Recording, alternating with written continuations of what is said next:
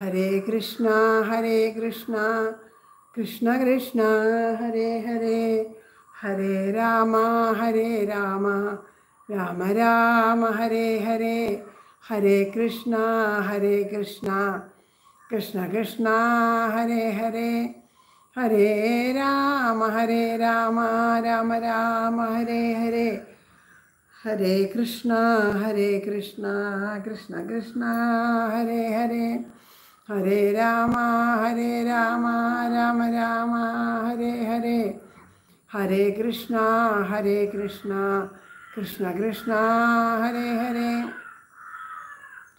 ഹരേ രാമ ഹരേ രാമ രാമ രാമ ഹരേ ഹരേ ഹരേ കൃഷ്ണ ഹരേ കൃഷ്ണ കൃഷ്ണ കൃഷ്ണ ഹരേ ഹരേ ഹരേ രാമ ഹരേ രാമ രാമ രാമ ഹരേ ഹരേ ഹരേ കൃഷ്ണ ഹരേ കൃഷ്ണ കൃഷ്ണ കൃഷ്ണ ഹരേ ഹരേ. സർവത്ര ഗോവിന്ദനാമ സങ്കീർത്തനം.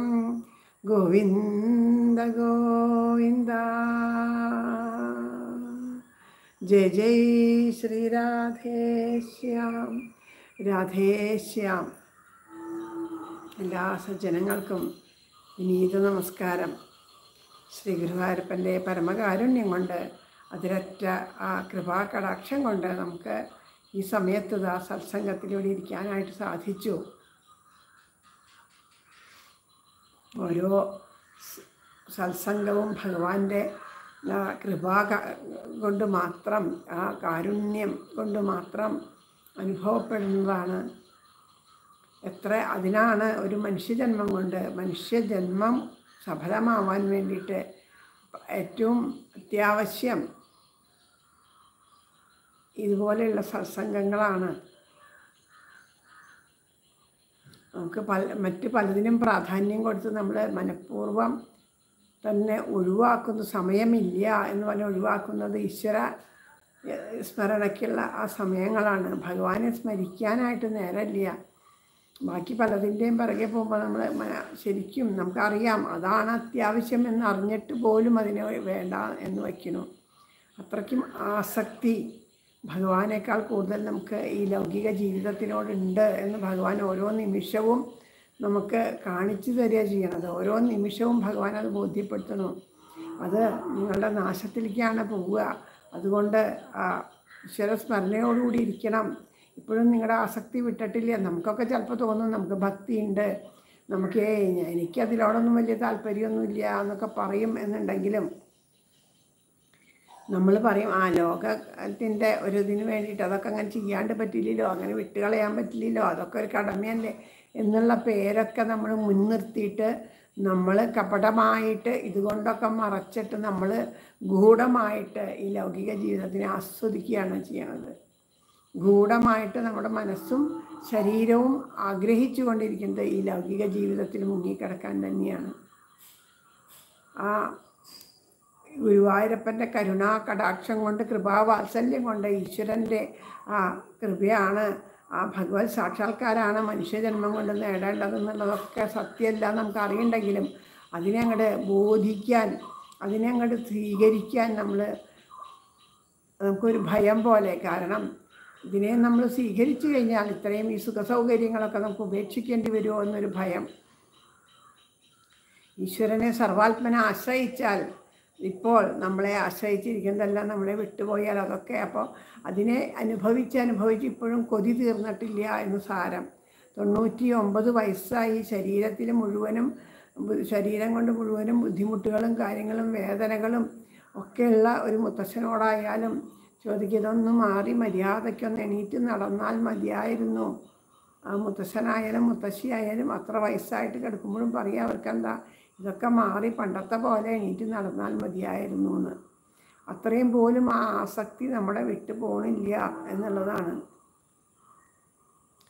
ഒരു ജീവിതായുസ് മനുഷ്യായുസ് മുഴുവൻ തന്നു. അതിനെ വേണ്ടതുപോലെ പ്രയോജനപ്പെടുത്താതെ കണ്ട് ആ ഇതുപോലെ നിസ്സാരങ്ങളായിട്ടുള്ള ആ, നശ്വരങ്ങളായിട്ടുള്ള ഓരോന്നിന്റെയും പിന്നാലെ പോയി പോയി പോയി ഭഗവാനെ മറന്ന് ജീവിച്ചു കഴിഞ്ഞിട്ട് എത്രയോ അതിൽ മുങ്ങി മുങ്ങി കിടന്നു.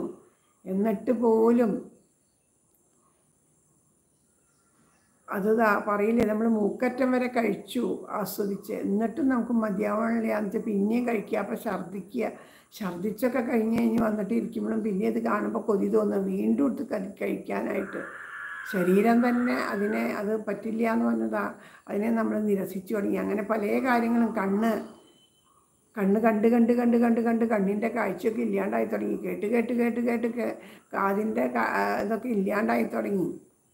അനുഭവിച്ച് അനുഭവിച്ച് അനുഭവിച്ച് നമുക്ക് അത് ശരീരം അതിനെ തിരസ്കരിച്ച് തുടങ്ങിയാലും നമുക്ക് തിരസ്കരിക്കാൻ സാധിക്കണില്ല. നമ്മൾ പിന്നെയും അതിനെ എങ്ങനെ എങ്ങനെയെങ്കിലും അല്ലേ മുടി കറപ്പിച്ചിട്ടും കണ്ണിൽ കണ്ണ് വേറെ കണ്ണട വച്ചിട്ടും ചെവിയിൽ ഓരോ യന്ത്രങ്ങൾ വച്ചിട്ടും നാവിന് രുചിയില്ല. രുചിയൊക്കെ നഷ്ടപ്പെട്ടു വെച്ചാൽ എന്തായാലും വേണ്ടില്ല.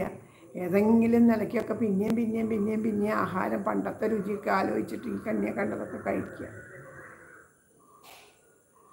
അപ്പോൾ തന്റെ ആ ശരീരം തന്നെ വിരക്തി വന്ന് അതിനെ ഉപേക്ഷിക്കാൻ തുടങ്ങിയാലും നമുക്കതിനോടുള്ളൊരു ആസക്തി നിൽക്കണില്ല വിട്ടു പോണില്ല അതുകൊണ്ട് തന്നെയാണ് നമുക്ക് സത്സംഗത്തിന് ഒന്നും ഇരിക്കാനോ അത് കേൾക്കാനോ അത് പറയാനോ ഉള്ള അവസരങ്ങൾ നമ്മൾ നഷ്ടപ്പെടുത്തണത്. ഞാനടക്കം പറയാണ് എന്റെയും കൂടെ കാര്യങ്ങളാണ് പറയണത് ഞാൻ.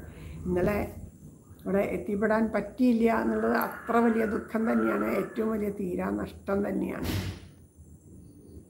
അങ്ങനെ പലതിന്റെയും പുറകെ മനസ്സ് കളഞ്ഞിട്ട് നമ്മുടെ ആ പുണ്യം ആ മനോഹരമായ മനുഷ്യജന്മത്തിനെ ചുട്ടു തിന്നുന്നു ജന്മം പഴുതേ നാം അങ്ങനെയാണ് അപ്പോൾ ഇത് കിട്ടണ ഓരോ നിമിഷവും ഈശ്വര സാക്ഷാത്കാരത്തിന് വേണ്ടിയിട്ട് ഉപയോഗിക്കാൻ കഴിയണ ഈ സത്സംഗത്തിലിരിക്കാൻ കഴിയണ ഓരോ നിമിഷവും നമുക്ക് അത്രയ്ക്ക് അത്രയ്ക്ക് പ്രിയപ്പെട്ടതാണ്. അത്രയ്ക്ക് അത്രയ്ക്ക് പവിത്രമാണ്. അത്രയ്ക്ക് അത്രയ്ക്ക് വിലപ്പെട്ടതാണ്. അത് അതിന്റെ അതേ പൂർണമായിട്ടുള്ള അതിന് അതിന്റെ ആ മഹത്വത്തോട് കൂടിയിട്ട് തന്നെ നമുക്ക് സ്വീകരിക്കാൻ സാധിക്കണം. അതിനു വേണ്ടിയിട്ടാണ് പൊന്താന മുത്തച്ഛൻ ഇങ്ങനെ ഇത്ര ലളിതമായിട്ട് പറഞ്ഞു തരുന്നത് അങ്ങനെ ആ പൊന്താന മുത്തച്ഛന്റെ ആ പൊന്താനത്തെ മുത്തച്ഛന്റെ ആ ജ്ഞാനപ്പാനയിലൂടെയാണ് നമ്മളിപ്പോൾ സഞ്ചരിച്ചു കൊണ്ടിരിക്കുന്നത് ഇന്നലെ ഒരു ദിവസം എത്തിപ്പെടാൻ പറ്റിയില്ല പറഞ്ഞു തുടങ്ങുമ്പോൾ കുടുംബ കുടുംബ പ്രാരാബ്ധങ്ങളാവും നമുക്ക് പറയാനുണ്ടാവുക. പക്ഷേ അത് പറയാനല്ല ഗുരുവായൂരപ്പൻ ഇവിടെ അവസരം തന്നേക്കണത്. ഗുരുവായൂരപ്പൻ തന്ന അവസരം എന്തിനു വേണ്ടിയിട്ടാണ് ഭഗവാന്റെ കഥ പറയാനാണ്. ആ ഭഗവാന്റെ കഥ പറയാൻ വന്നിരിക്കുന്ന സമയത്ത് മറ്റു പലതും പറഞ്ഞിട്ട് ആ സമയം വെറുതെ നീട്ടണേന് ആവശ്യമില്ല. അപ്പോൾ പരമാവധി ആ ഉദാനപ്പാന സേവിച്ച് സേവിച്ച് സേവിച്ച് സേവിച്ച്. അതിൽ മധുര മദന്ത ആ എങ്ങനെയാണോ മദ്യം കഴിച്ച് അതിൽ ആസക്തരായിട്ട് ആ മദ്യത്തിനെ ഉപേക്ഷിക്കാൻ സാധിക്കാത്തത്. അതുപോലെ ഭഗവാനെ ഉപേക്ഷിക്കാൻ സാധിക്കാതെ നമുക്ക് ഭഗവാനില്ലാണ്ട് അരനിമിഷം പോലും പറ്റണില്ല എന്നുള്ളൊരവസ്ഥ വരണം. ആ ഭഗവാനെ ഉപേക്ഷിച്ചിട്ട് പറ്റണില്ല. എങ്ങനെയാണോ മദ്യം ഇല്ലാണ്ട് ആ മദ്യ ഇരിക്കണ ആ മദ്യപാനിക്ക് വരണ എന്തൊക്കെ ബുദ്ധിമുട്ടുകളുണ്ട് അതുപോലെയാണ്. അങ്ങനെ നമുക്ക് ആ ഭഗവാനോടുള്ള ഭക്തി വർദ്ധിക്കാനായിട്ട് സാധിക്കട്ടെ. ഓരോ ദിവസവും ഓരോന്നും ഓരോന്നും അതിനായിട്ട് സമർപ്പിക്കാൻ സാധിക്കട്ടെ.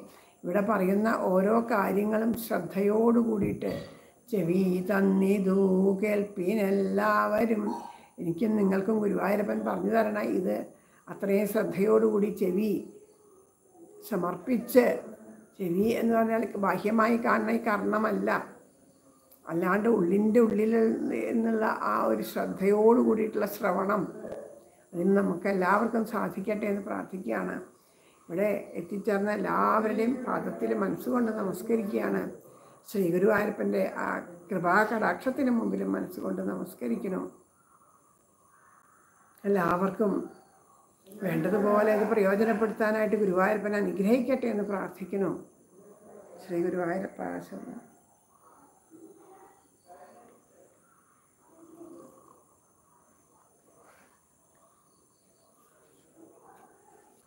കൃഷ്ണ കൃഷ്ണ മുകുന്ദ ജനാർദ്ദന കൃഷ്ണ ഗോവിന്ദ നാരായണ ഹരേ അച്യുതാനന്ദ ഗോവിന്ദ മാധവ. സച്ചിദാനന്ദ നാരായണ ഹരേ കൃഷ്ണ ഗുരുവായൂരപ്പ ആ ഭഗവാന്റെ നാമങ്ങൾ തിരുനാമങ്ങൾ ഈ തിരുനാമങ്ങൾ ജപിക്കുക മാത്രമാണ് ഒരു മനുഷ്യന്റെ ജന്മം സഫലമാക്കാൻ ഏറ്റവും ഏറ്റവും ഏറ്റവും അത് മാത്രമാണ് വേറെ ഒന്നുമില്ല. ഏകമായ ഒറ്റമൂലി എന്ന് തന്നെ പറയാം. തിരുനാമ സങ്കീർത്തനമെന്നിയെ മറ്റൊന്നുമില്ല യത്നം അറിഞ്ഞാലെന്ന് പറയണം. അത് എത്ര പാപിയായാലും എത്ര പതിതനായാലും വേണ്ടില്ല ഭഗവാന്റെ നാമം ജപിച്ചാൽ അതിൽ നിന്നെല്ലാം രക്ഷ നേടാൻ മനസ്സിനെ ഉയർത്താൻ മനസ്സിനെ ഈ മാംസത്തിൽ നിന്ന് ഉയർത്താൻ ആ തിരുനാമ സങ്കീർത്തനത്തിന് മാത്രമേ സാധിക്കുള്ളൂ. അതുകൊണ്ട് സദാ സദാ സദാ നാമം ജപിക്കണം. നമ്മളിതാ ഇപ്പോൾ ഈ കോവിഡ് കാലമൊക്കെ വന്നതിന് ശേഷം നമ്മളിതാ പുറത്ത് പോയി വരുമ്പോൾ കുളിച്ച് ശരീരം നല്ലോണം സോപ്പൊക്കെ തേച്ച് കുളിച്ച് ഒക്കെ കഴിയണു. നമ്മുടെ വസ്ത്രങ്ങളൊക്കെ ഡെറ്റോളൊക്കെ ഒഴിച്ച് മുക്കി ഉപയോഗിക്കണം അങ്ങനെ എല്ലാവിധത്തിലെ സുരക്ഷിതകളും സുരക്ഷകളും നമ്മൾ നോക്കുകയാണ്. ഇടയ്ക്കിടയ്ക്ക് കൈ സാനിറ്റൈസർ ഇട്ട് കഴുകണു. ഇതൊക്കെ ഇതൊക്കെ ഞാൻ പറഞ്ഞു ഇന്നാൾ പറഞ്ഞുല്ലോ ഇവിടെ കാണുന്നതെല്ലാം മാതൃകയാണ്. ഭഗവാനോട് എങ്ങനെ വേണമെന്നുള്ള എന്റെ മാതൃക. ഈ ശരീരത്തിനെ അത്ര ശുദ്ധിയായിട്ടും വൃത്തിയായിട്ടും ശ്രദ്ധയോടും കൂടി നമ്മൾ നോക്കുമ്പോൾ ആ ശരീരത്തിനെയാണ് നമ്മൾ അത്രയും നോക്കുന്നത്. അപ്പോൾ ആ ശരീരത്തിന് ഇത്ര ശ്രദ്ധയുണ്ടെങ്കിൽ ആ മനസ്സ് ശുദ്ധിയാവാൻ മനസ്സ് വൃത്തിയാക്കാൻ എത്രയെത്ര നമ്മൾ പരിശ്രമം വേണം. പല വിധത്തിലുള്ള തല കഴുകാനൊരു ഷാമ്പു ശരീരം കഴുകാനൊരു ഷാമ്പു ഒക്കെ ഉണ്ട്. അപ്പം മേൽ കുളിക്കാനും ഷാമ്പു ഉണ്ട് എന്നൊക്കെ പറഞ്ഞു. സോപ്പ് വേറെ അതുകൂടാണ്ട് അത് കൂടാണ്ട് പിന്നെ അത് ആ ഡെറ്റോൾ അങ്ങനെയുള്ളതൊക്കെ വേറെ എല്ലാം ഇങ്ങനെ ആ രോഗാണു വിമുക്തമാക്കാൻ പല പല മാർഗങ്ങളുണ്ട്. പക്ഷേ ആ ഉള്ളു ശുദ്ധാക്കാൻ ആകെ കൂടി ഒരേ ഒരു ഒറ്റമൂലി മാത്രമേ ഉള്ളൂ. ഏതാ? തിരുനാമ സങ്കീർത്തനം. ആ തിരുനാമ സങ്കീർത്തനം ചെയ്ത് ചെയ്ത് ചെയ്ത് ചെയ്ത് ചെയ്ത് ചെയ്ത് ചെയ്ത് അവനവന്റെ ഉള്ള് പരിശുദ്ധമാകാതെ കണ്ട് നമ്മൾ എന്തു തന്നെ ചെയ്തിട്ടും ഒരു കാര്യമില്ല പാത്രം നല്ല വൃത്തിയിൽ കഴുകാതെ കണ്ട് ആ പാത്രത്തിലേക്ക് ഇപ്പോൾ ഭഗവത്ഗീത പഠിക്കണു നാരായണീയം പഠിക്കണു ഭാഗവതം പഠിക്കണു.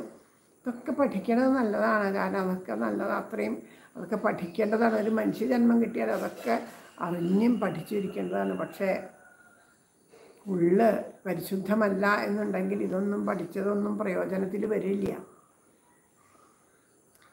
വൃത്തിയായിട്ട് കഴുകാത്ത ഒരു പാത്രത്തിലേക്ക് പായസം പകർന്നു കഴിഞ്ഞാൽ എങ്ങനെയാണ് മണ്ണെണ്ണയൊക്കെ എടുത്തൊരു പാത്രമാണ്. അതിലാണ്? അതിൽ കഴുകാണ്ട് അതിൽ പായസമോ അല്ലെങ്കിൽ ആഹാര സാധനങ്ങളോ എടുത്താൽ ആ മണ്ണെണ്ണയുടെ ചൊവ്വാലെ കഴിക്കാൻ സാധിക്കുമോ?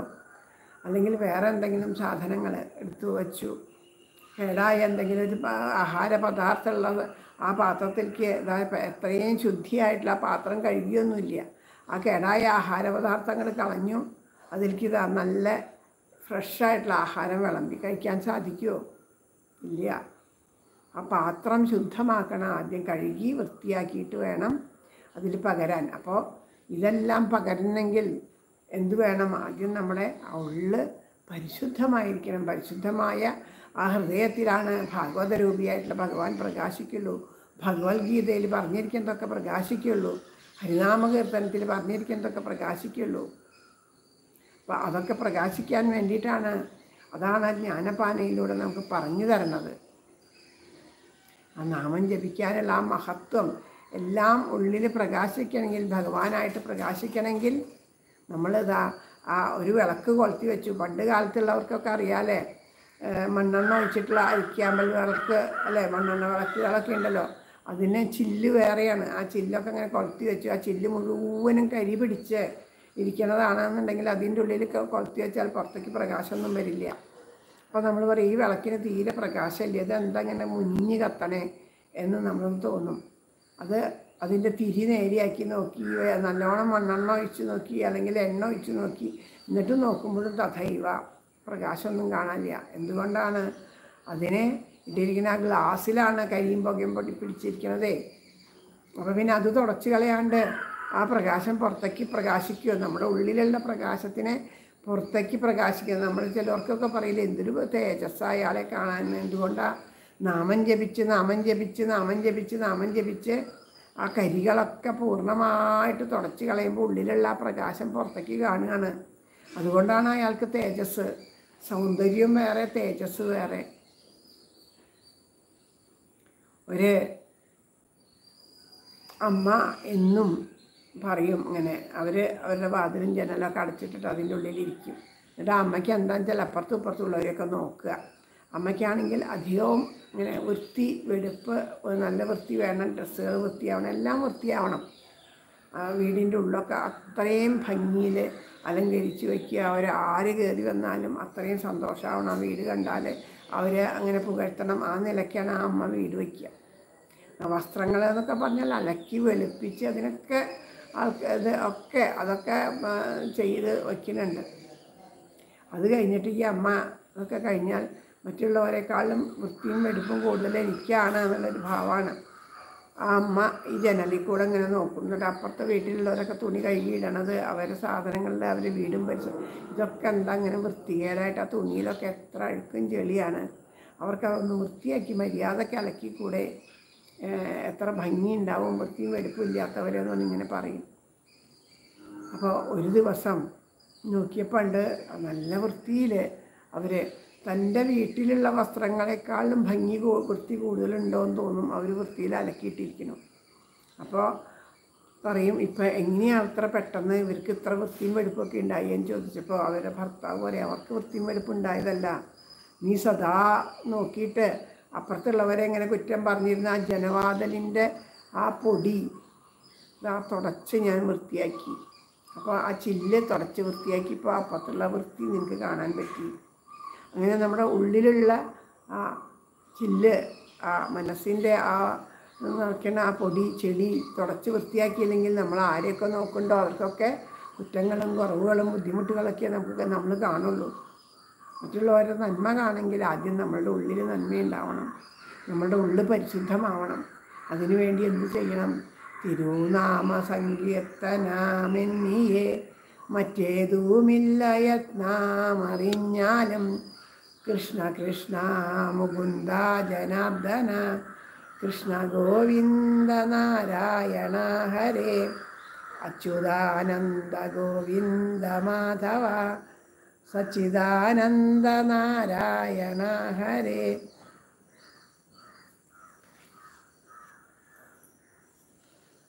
അപ്പുറത്ത് നമ്മൾ കുറേ കാലങ്ങൾക്ക് ശേഷം കുറച്ച് നേരം നമ്മളുടെ അണ്ണാൻ കുഞ്ഞ് വന്നിരുന്ന് കേൾക്കണ്ടായിരുന്നു. അത് നിങ്ങളെ കാണിച്ചു തരാമെന്ന് വിചാരിച്ചു. പക്ഷേ ഇതിന്റെ ഈ ടെക്നിക്ക് എനിക്ക് അത് ഫ്രണ്ട് ഫ്രണ്ട് ക്യാമറയാണ് അപ്പോൾ ഇരിക്കുന്നത് അത് തിരിക്കാൻ ഞാൻ നോക്കി കണ്ടില്ല.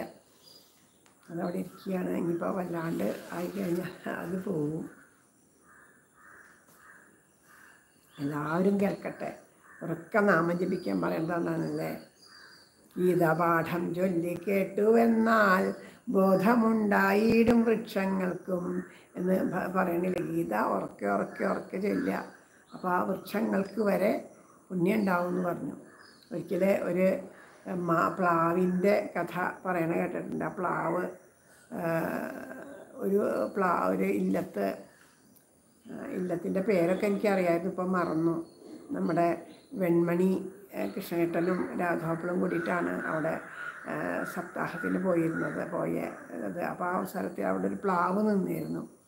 അപ്പോൾ ആ പ്ലാവ് കായ്ക്കിനൊന്നുമില്ല എന്നാൽ അത് മുറിച്ച് കളയാം. എന്ന് വിചാരിച്ചു. ആ പ്ലാവ് അവിടെ നിൽക്കുന്നത് അപ്പോൾ ആ സമയത്താണ് ഒരു സപ്താഹം നടത്താമെന്നൊക്കെ വിചാരിച്ചത്. അപ്പോൾ അത് കാക്കില്ല എന്നൊക്കെ പറഞ്ഞിട്ടുള്ള പ്ലാവായിരുന്നു. എന്നാൽ മുറിക്കാം എന്ന് വിചാരിച്ചു. അനവധി കാലം നിന്നായിരുന്ന പ്ലാവാണ്.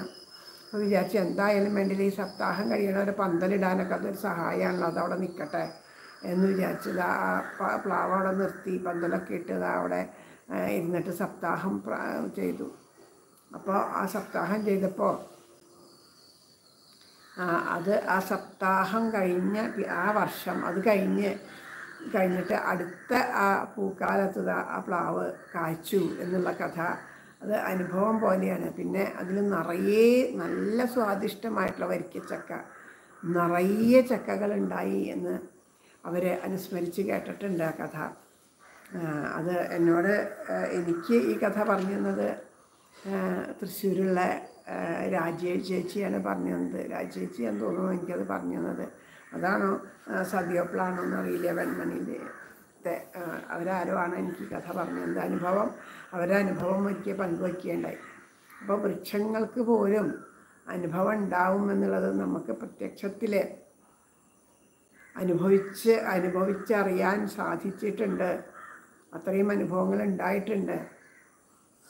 അങ്ങനെയുള്ള ആ നാമസങ്കീർത്തനം ഉറക്ക നാമം ജപിക്കണം എന്നാണ് പറയുക ആ ഉറക്ക നാമം ജപിക്കുന്നത് കേൾക്കാനും അതിനെ ആസ്വദിക്കാനൊക്കെ സാധിച്ചിട്ടില്ല എന്നുണ്ടെങ്കിലും ചെവിയിലൂടെ കടന്നു പോയാലും ചെവി കൊണ്ടിരു കേട്ടു എന്നാകിലും ഒന്ന് കേട്ടാൽ മതി ജന്മസാഫല്യം അപ്പോഴേ വന്നു പോയി എന്ന് പറയണു അപ്പോൾ ആ ഭഗവാന്റെ അനുഗ്രഹത്തിന് പാത്രീഭൂതരാകും. അതിനു വേണ്ടിയിട്ട് തന്നെയാവും അത് കേൾക്കാൻ വേണ്ടി ചില ജീവന്മാരെ ഈ നാമം ജപിക്കുന്നതിന്റെ പരിസരത്തൊക്കെ കൊണ്ടുവന്ന് നിർത്തും. അവർ ശ്രദ്ധിച്ചില്ലെങ്കിലൊന്നും വേണ്ടില്ല.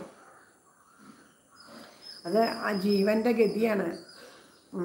എന്റെ മക- മകൻ ചെറു ചെറിയ കുട്ടിയായിരിക്കുന്ന സമയത്ത് ഞാനിങ്ങനെ സഹസ്രനാമം അങ്ങനെ ജപിക്കും അവിടെ ഇരുന്നിട്ട്. അപ്പോൾ ഈ കുഞ്ഞുങ്ങളൊന്നും അതിനങ്ങനെ ഇരിക്കില്ലല്ലോ. കുറച്ച് നാമം ജപിച്ചു കഴിഞ്ഞാൽ അവർ അവരുടെ പാട് നോക്കിപ്പോകും സഹസ്രനാമം ജപിക്കുമ്പോൾ മടിയിലിരിക്കാനുള്ള അത്രയ്ക്ക് ക്ഷമയൊന്നും പ്രത്യേകിച്ച് ആൺകുട്ടികൾക്കില്ല. അപ്പം ഞാനവിടെ നാമം ജപിക്കുമ്പോൾ അവിടെ ചാടി മറിഞ്ഞ് തൊള്ളി മറിഞ്ഞ് ഒച്ച ഉണ്ടാക്കി അവിടെ ലഹള ഉണ്ടാക്കിയൊക്കെ ആദ്യമൊക്കെ ഞാൻ പറയും മിണ്ടാണ്ടിരിക്കും നാമം ജപിക്കുന്നിടത്തൊന്നും പിന്നെ കുട്ടികളല്ലേ.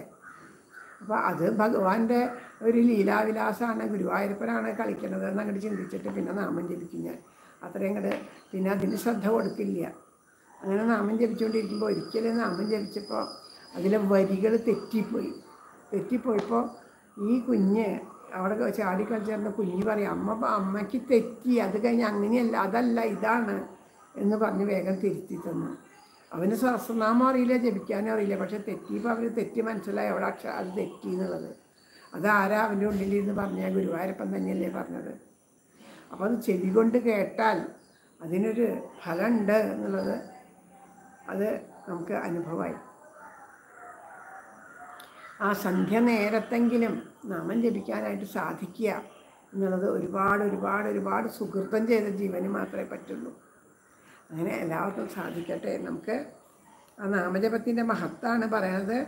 ഈ കാലം എങ്ങനെയാ? കാലം ഇന്നോ കലിയുഗമല്ലയോ ഭാരത കാലത്തിന്റെയും ഭാരതത്തിന്റെയും മനുഷ്യന്റെയൊക്കെ മഹത്വം പറഞ്ഞിട്ട് പറയും ഇത് കാലം കലിയുഗല്ലേ? ഇത് ഭാരതദേശമല്ലേ നമ്മളൊക്കെ മനുഷ്യന്മാരല്ലേ? നാമം ജപിക്കാനുള്ള നാവില്ലേ നമുക്ക്? നാമില്ലാണ്ട് അതോ നാമില്ലാണ്ട് പോയോ? നാമം ജപിക്കാൻ അല്ല നരകങ്ങൾ ഉണ്ടാവില്ല എന്നുള്ള പേടി ആ നരകഭയം കുറഞ്ഞതാണോ കാരണം? അല്ലാണ്ട് നാവില്ലാണ്ട് പോകുമെന്നും അല്ലല്ലോ ചെയ്തത്. അല്ല ഇനിയിപ്പോൾ എനിക്ക് നാശമൊന്നും ഉണ്ടാവില്ല? ഞാനിങ്ങനെ തന്നെ എന്നും ഉണ്ടാവും. എനിക്കൊരു കുഴപ്പമില്ല. എനിക്ക് നാമം ജപിക്കേണ്ട ആവശ്യമൊന്നുമില്ല എന്നുള്ള തോന്നലാണോ? എന്തുകൊണ്ടാണെന്ന് അറിയില്ല. ഏത് തോന്നലിലൂടെ ആയാലും കഷ്ടം കഷ്ടം എന്നേ പറയാവുള്ളൂ. കാരണം നമ്മളൊന്നും ചിന്തിക്കാണ്ട് ഇത്രയും പവിത്രമായിട്ടുള്ളൊരു മനുഷ്യജന്മം എൺപത്തിനാല് ലക്ഷം യോനികളിലൂടെ കടന്നു പോയിട്ട് കിട്ടിയ ഈ മനുഷ്യജന്മം ചുട്ടു തിന്നാണ്. ഇനി അത്രയും കാത്തിരിക്കണം നമുക്കൊരു മനുഷ്യജന്മം കിട്ടണം എന്നുണ്ടെങ്കിൽ.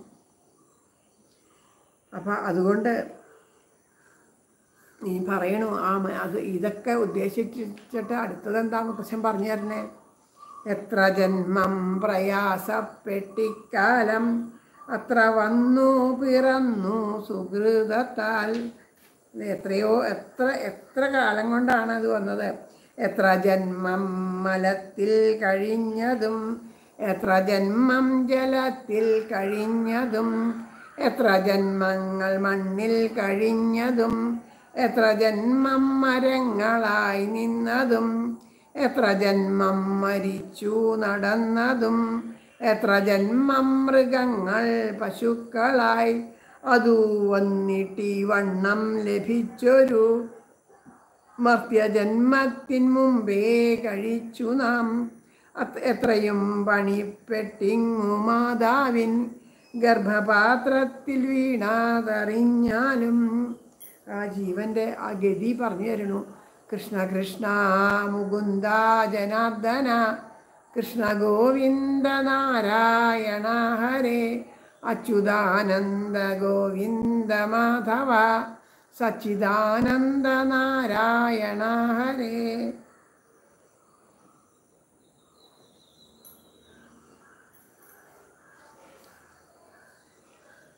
ഈ മനുഷ്യജന്മം സുഹൃതം കൊണ്ടാണ് നമുക്ക് ലഭിച്ചത്.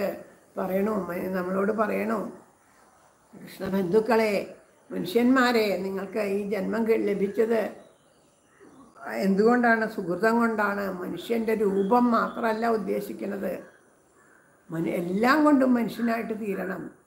ചിന്തയും ബുദ്ധിയും എല്ലാം മനുഷ്യഭാവത്തിൽ വരണം.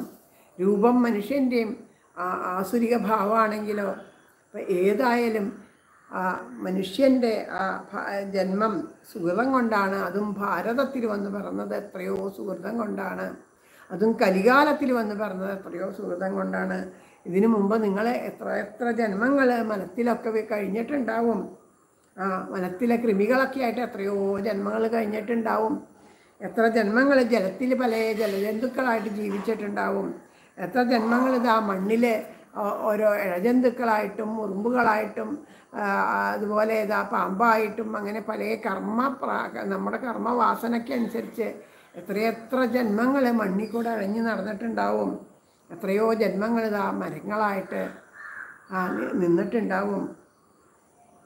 അങ്ങനെ ആ മൃഗങ്ങളും പശുക്കളുമായിട്ട് എത്രയെത്ര ജന്മങ്ങളുണ്ടാവും. ഇങ്ങനെ എത്രയെത്ര ജന്മങ്ങളിലൂടെ നമ്മളിതാ ജനിച്ച് നശിപ്പിച്ചതിന് ശേഷമാണ് നമുക്കിതാ അമ്മയുടെ ഗർഭപാത്രത്തിൽ വന്ന് വീണ് ഒരു മനുഷ്യജന്മം ജന്മം കിട്ടിയത്. ഈ ജന്മങ്ങളുടെ കഥ നമ്മൾ പറയണു?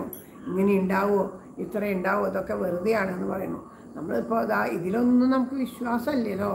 ഈ മഹാത്മാക്കൾ പറയണതോ ഭാഗവതം പറയണതോ പുരാണങ്ങൾ പറയണതൊന്നും നമുക്ക് വിശ്വാസമല്ലേ. അതൊന്നും നമുക്ക് സത്യമല്ലല്ലോ. അതൊക്കെ പരീക്ഷിച്ചറിഞ്ഞവരാണ് അത് പരീക്ഷിച്ചറിഞ്ഞവരാണ് പറയണത്. പക്ഷെ നമുക്ക് അനുഭവം ഇല്ല.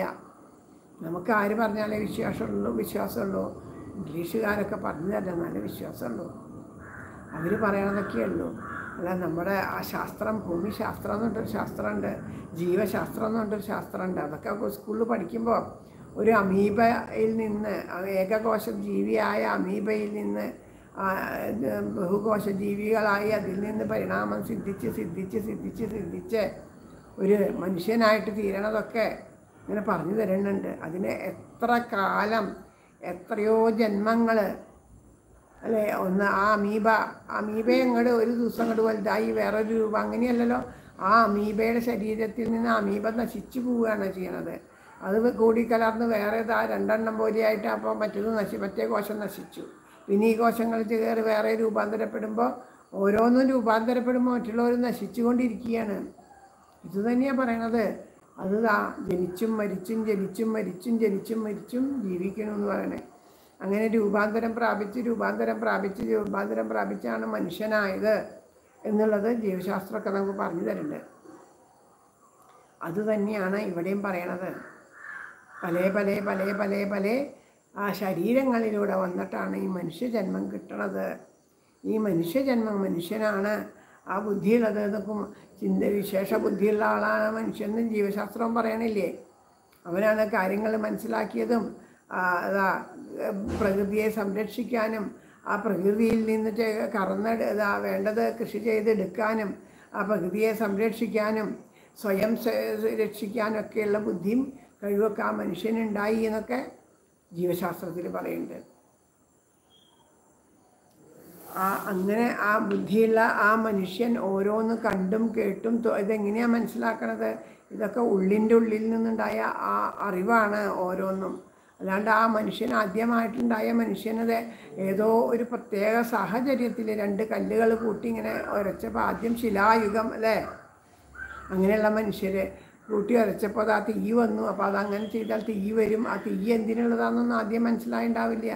പിന്നെ അങ്ങനെയുള്ള ആ തീയിൽ എന്തെങ്കിലും ഒരു ജീവി എന്തെങ്കിലും ഒരു സാധനം പെട്ട് കഴിയുമ്പോൾ അത് വേവിക്കുമ്പോഴുള്ള ഗുണം അങ്ങനെയൊക്കെയാണ് ഓരോന്ന് അനുഭവത്തിലൂടെയാണ് അത് പഠിക്കുന്നത് അപ്പോൾ തീ ഉണ്ടാക്കാനും അതുപോലെ ഭക്ഷണം വേവിക്കാനും പിന്നെ ഭക്ഷണം ദാ ഭൂമിയിൽ നിന്ന് മുളച്ചു വരുന്നതൊക്കെ ആ ഭക്ഷണങ്ങളൊക്കെ കായ്കറികളൊക്കെ കായ്കനികളൊക്കെ തിന്ന് അവിടെ എവിടെയും വലിച്ചെറിയുമ്പോൾ അത് വീണ്ടും പൊട്ടി മുളയ്ക്കുന്നതൊക്കെ കാണുമ്പോൾ അവൻ ചിന്തിച്ച് മനസ്സിലാക്കി ഇതാ ഇതിങ്ങനെ ഇട്ട് കഴിഞ്ഞാൽ വീണ്ടും വരും എന്നുള്ളതൊക്കെ മനസ്സിലാക്കി അങ്ങനെ അനുഭവത്തിലൂടെ മനസ്സിലാക്കി മനസ്സിലാക്കി ആണ് ഇന്ന് കാണുന്ന ഈ പുരോഗതിയിലേക്ക് എത്തിയത്.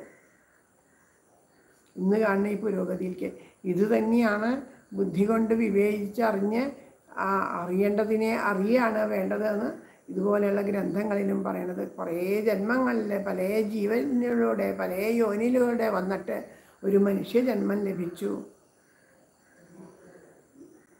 ആ മനുഷ്യന് ആ ആ സംരക്ഷിക്കുന്ന ഒരു ജീ ആ ഒരു നമ്മളെ എല്ലാവരെയും ഒരുപോലെ കാത്തുരക്ഷിക്കുന്ന ആ ഒരു പ്രപഞ്ച ശക്തിയെ പറ്റിയിട്ട് അവന് ബോധമുണ്ടായി അപ്പോൾ ബാക്കി എല്ലാത്തിനെയും അറിയണം എന്ന് അവന് മോഹമുണ്ട്.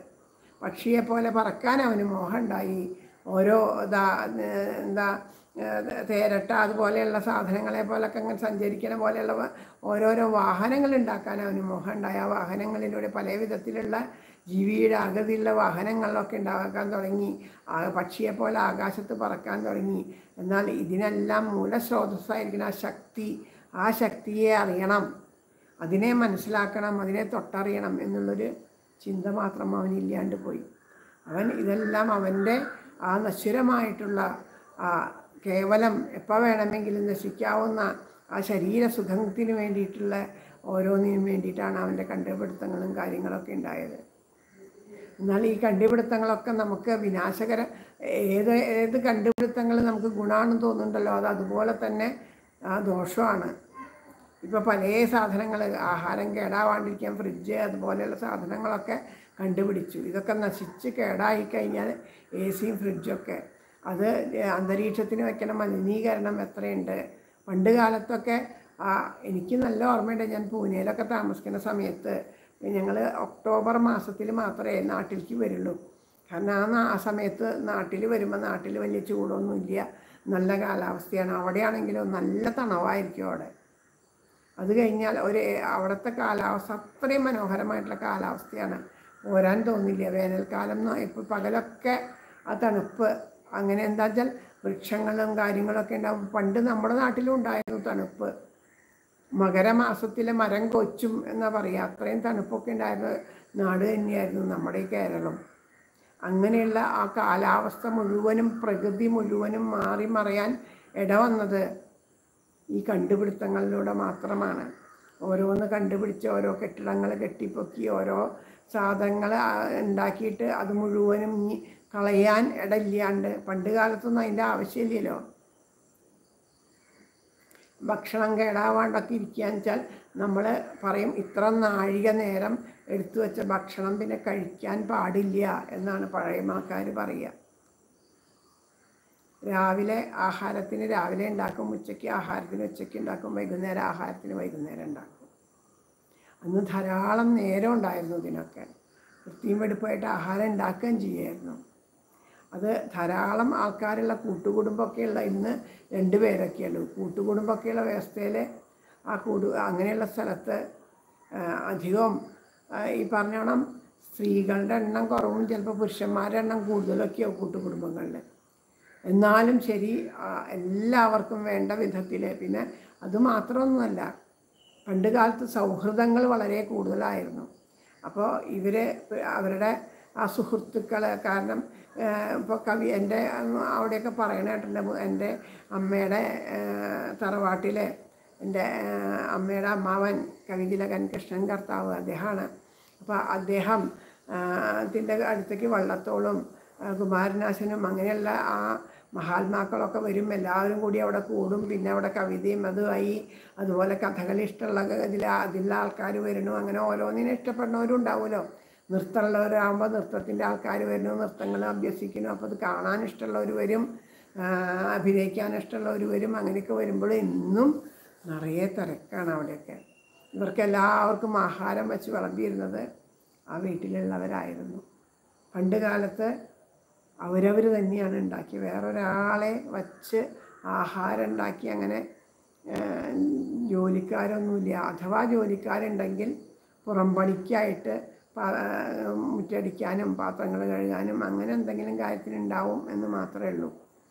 പശുവൊക്കെ ഉണ്ടാവും. ആ പശുവിനെ കുളിപ്പിക്കുക തൊഴുത്ത് കഴുകുക വൃത്തിയാക്കുക. പിന്നെ പറമ്പിലെ പണികൾ നെല്ലൊക്കെ ഉണ്ടാവും. അപ്പോൾ അതിന് അങ്ങനെയുള്ളതിനൊക്കെ ഉണ്ടാവുള്ളൂ. അകത്ത കാര്യങ്ങളൊക്കെ വീട്ടിലുള്ളവർ തന്നെയാണ് നോക്കിയത്. എന്നിട്ടും അവർക്ക് ധാരാളം സമയം കിട്ടിയിരുന്നു. ഇന്ന് നമുക്ക് ഒന്നിനും സമയവും ഇല്ല. ആഹാരങ്ങൾ ഇങ്ങനെയൊക്കെ ഇതൊക്കെയാണ് പ്രകൃതിയെ നശിപ്പിക്കണത് നമ്മൾ തന്നെ. അപ്പോൾ നമ്മളെന്താ ചെയ്തേ? ഇത് അറിവിനെ നമ്മൾ വേണ്ട വിധത്തിൽ പ്രയോജനപ്പെടുത്താതെ കണ്ട് അതിനെ പല പരിഷ്കാരങ്ങളെയും കണ്ടുപിടുത്തങ്ങളുടെയും നമ്മുടെ സുഖസൗകര്യത്തിന് വേണ്ടി ഉപയോഗിച്ചപ്പോൾ പ്രകൃതി വിരുദ്ധമായി മാറി. പ്രകൃതിയുടെ കുഴപ്പമല്ല. നമ്മൾ ഇപ്പോൾ ഒരു പാത്രത്തിൽ വെള്ളം വെച്ച് അതിനെ ചൂടാക്കിയാൽ വെള്ളം ചൂടാവണത് കൊണ്ട് പാത്രത്തിന്റെ അടിയിൽ തീയിട്ട് ചൂടാക്കണത് കൊണ്ട് അത് ചൂടാവണേ. വെള്ളത്തിന്റെ കുഴപ്പം കൊണ്ടല്ല അത് ചൂടാവണേ. വെള്ളത്തിനെ ചൂടാക്കിയാൽ അത് ചൂടാവും. അങ്ങനെയാണ് ഈ പ്രകൃതിയിലെ പല സാധനങ്ങളും ആ പ്രകൃതിയുടെ നഷ്ടത്തി നാശത്തിന് തന്നെ കാരണമാവണത്. നമ്മളുടെ പ്രവൃത്തിയാണ്. നമ്മളുടെ പ്രവൃത്തിയാണ് അതിന്റെയൊക്കെ കാരണം. ആലോചിച്ച് നോക്കൂ. ആ സുഖവും സൗഹൃദവും സ്നേഹവും ആ പഴയ കാലത്തുണ്ടായിരുന്ന ആ അടുത്ത ഗ്രഹങ്ങളിലൊക്കെ ഉള്ളവർ തമ്മിലുള്ള സൗഹൃദം സ്നേഹം പരസ്പരം പങ്കുവയ്ക്കൽ ഒരു കൂട്ടാനേ ഉണ്ടാക്കുള്ളൂ ഒരു വീട്ടിൽ പക്ഷേ സദ് ഊണ് ഊണ് കഴിക്കാൻ ആരെങ്കിലും വന്നു കഴിഞ്ഞാൽ എനിക്ക് അനുഭവമാണ് അതൊക്കെ. ഊണ് കഴിക്കാൻ ആരെങ്കിലും വന്നു കഴിഞ്ഞാൽ ഒരു നാല് കൂട്ടം കൂട്ടാനും ഉണ്ടാവും. അതുപോലെ ഉപ്പേരി ഉണ്ടാവും. ഇതൊക്കെ ഉണ്ട് എന്നും സദ്യ പോലെയാണ്. ഏതെങ്കിലും വീടുകളിൽ ആരെങ്കിലും പിറന്നാളുണ്ടാവും. അപ്പോൾ അമ്പലത്തിലാണ് അന്നൊക്കെ വീട്ടിൽ പായസം വെച്ച് സദ്യ ഉണ്ടാക്കുന്നില്ല? അമ്പലത്തിൽ ഭഗവാന് പാൽപ്പായസമോ ഇങ്ങനെ ഭഗവാന് നേദിക്കാൻ നേദ്യ ഉണ്ടാവും. അപ്പോൾ എന്നും സദ്യയാണ്. ആരെങ്കിലും വന്നാൽ ഇവിടെ വന്നാൽ എന്നും സദ്യ ഉണ്ടാലോ എന്ന് പറയും. എന്തുകൊണ്ടാണ്? ഓരോ വീടുകളിൽ നിന്നും ആരെങ്കിലും വന്നു എന്ന് പറഞ്ഞാൽ ആരാ അവിടെ പോണാണ്ടല്ലോ നോക്കുക ഉള്ളേച്ച അവിടെ കൊണ്ടു കൊടുക്കും കേട്ടോ അത് നമ്മൾ ചോദിക്കൊന്നും വേണ്ട. അവർ വന്നിട്ടുണ്ടത് അവരപ്പോഴേക്കും വന്ന് അപ്പുറത്തേക്കൂടെ കൊണ്ടുവന്ന് അടുക്കളയിൽ വച്ചിട്ടുണ്ടാവും. അത്രയും സ്നേഹം ഒരുമിച്ച് ഇന്ന് ആരെങ്കിലും ആഹാരം ഉണ്ടാക്കണത് നമ്മളുടെ വീട്ടിൽ തൊട്ടടുത്തുള്ളവർക്ക് കാണുക അറിയാൻ ചെയ്യില്ല കൊടുക്കൂല കഴിക്കണ നേരത്തെ വന്നതിന് ചിലപ്പോൾ അതൊക്കെ അത് നീക്കി വെച്ച് മുഖമൊക്കെ തുടച്ച് ഉമ്മർത്ത് വന്നിരുന്ന് വർത്തമാനം പറയും.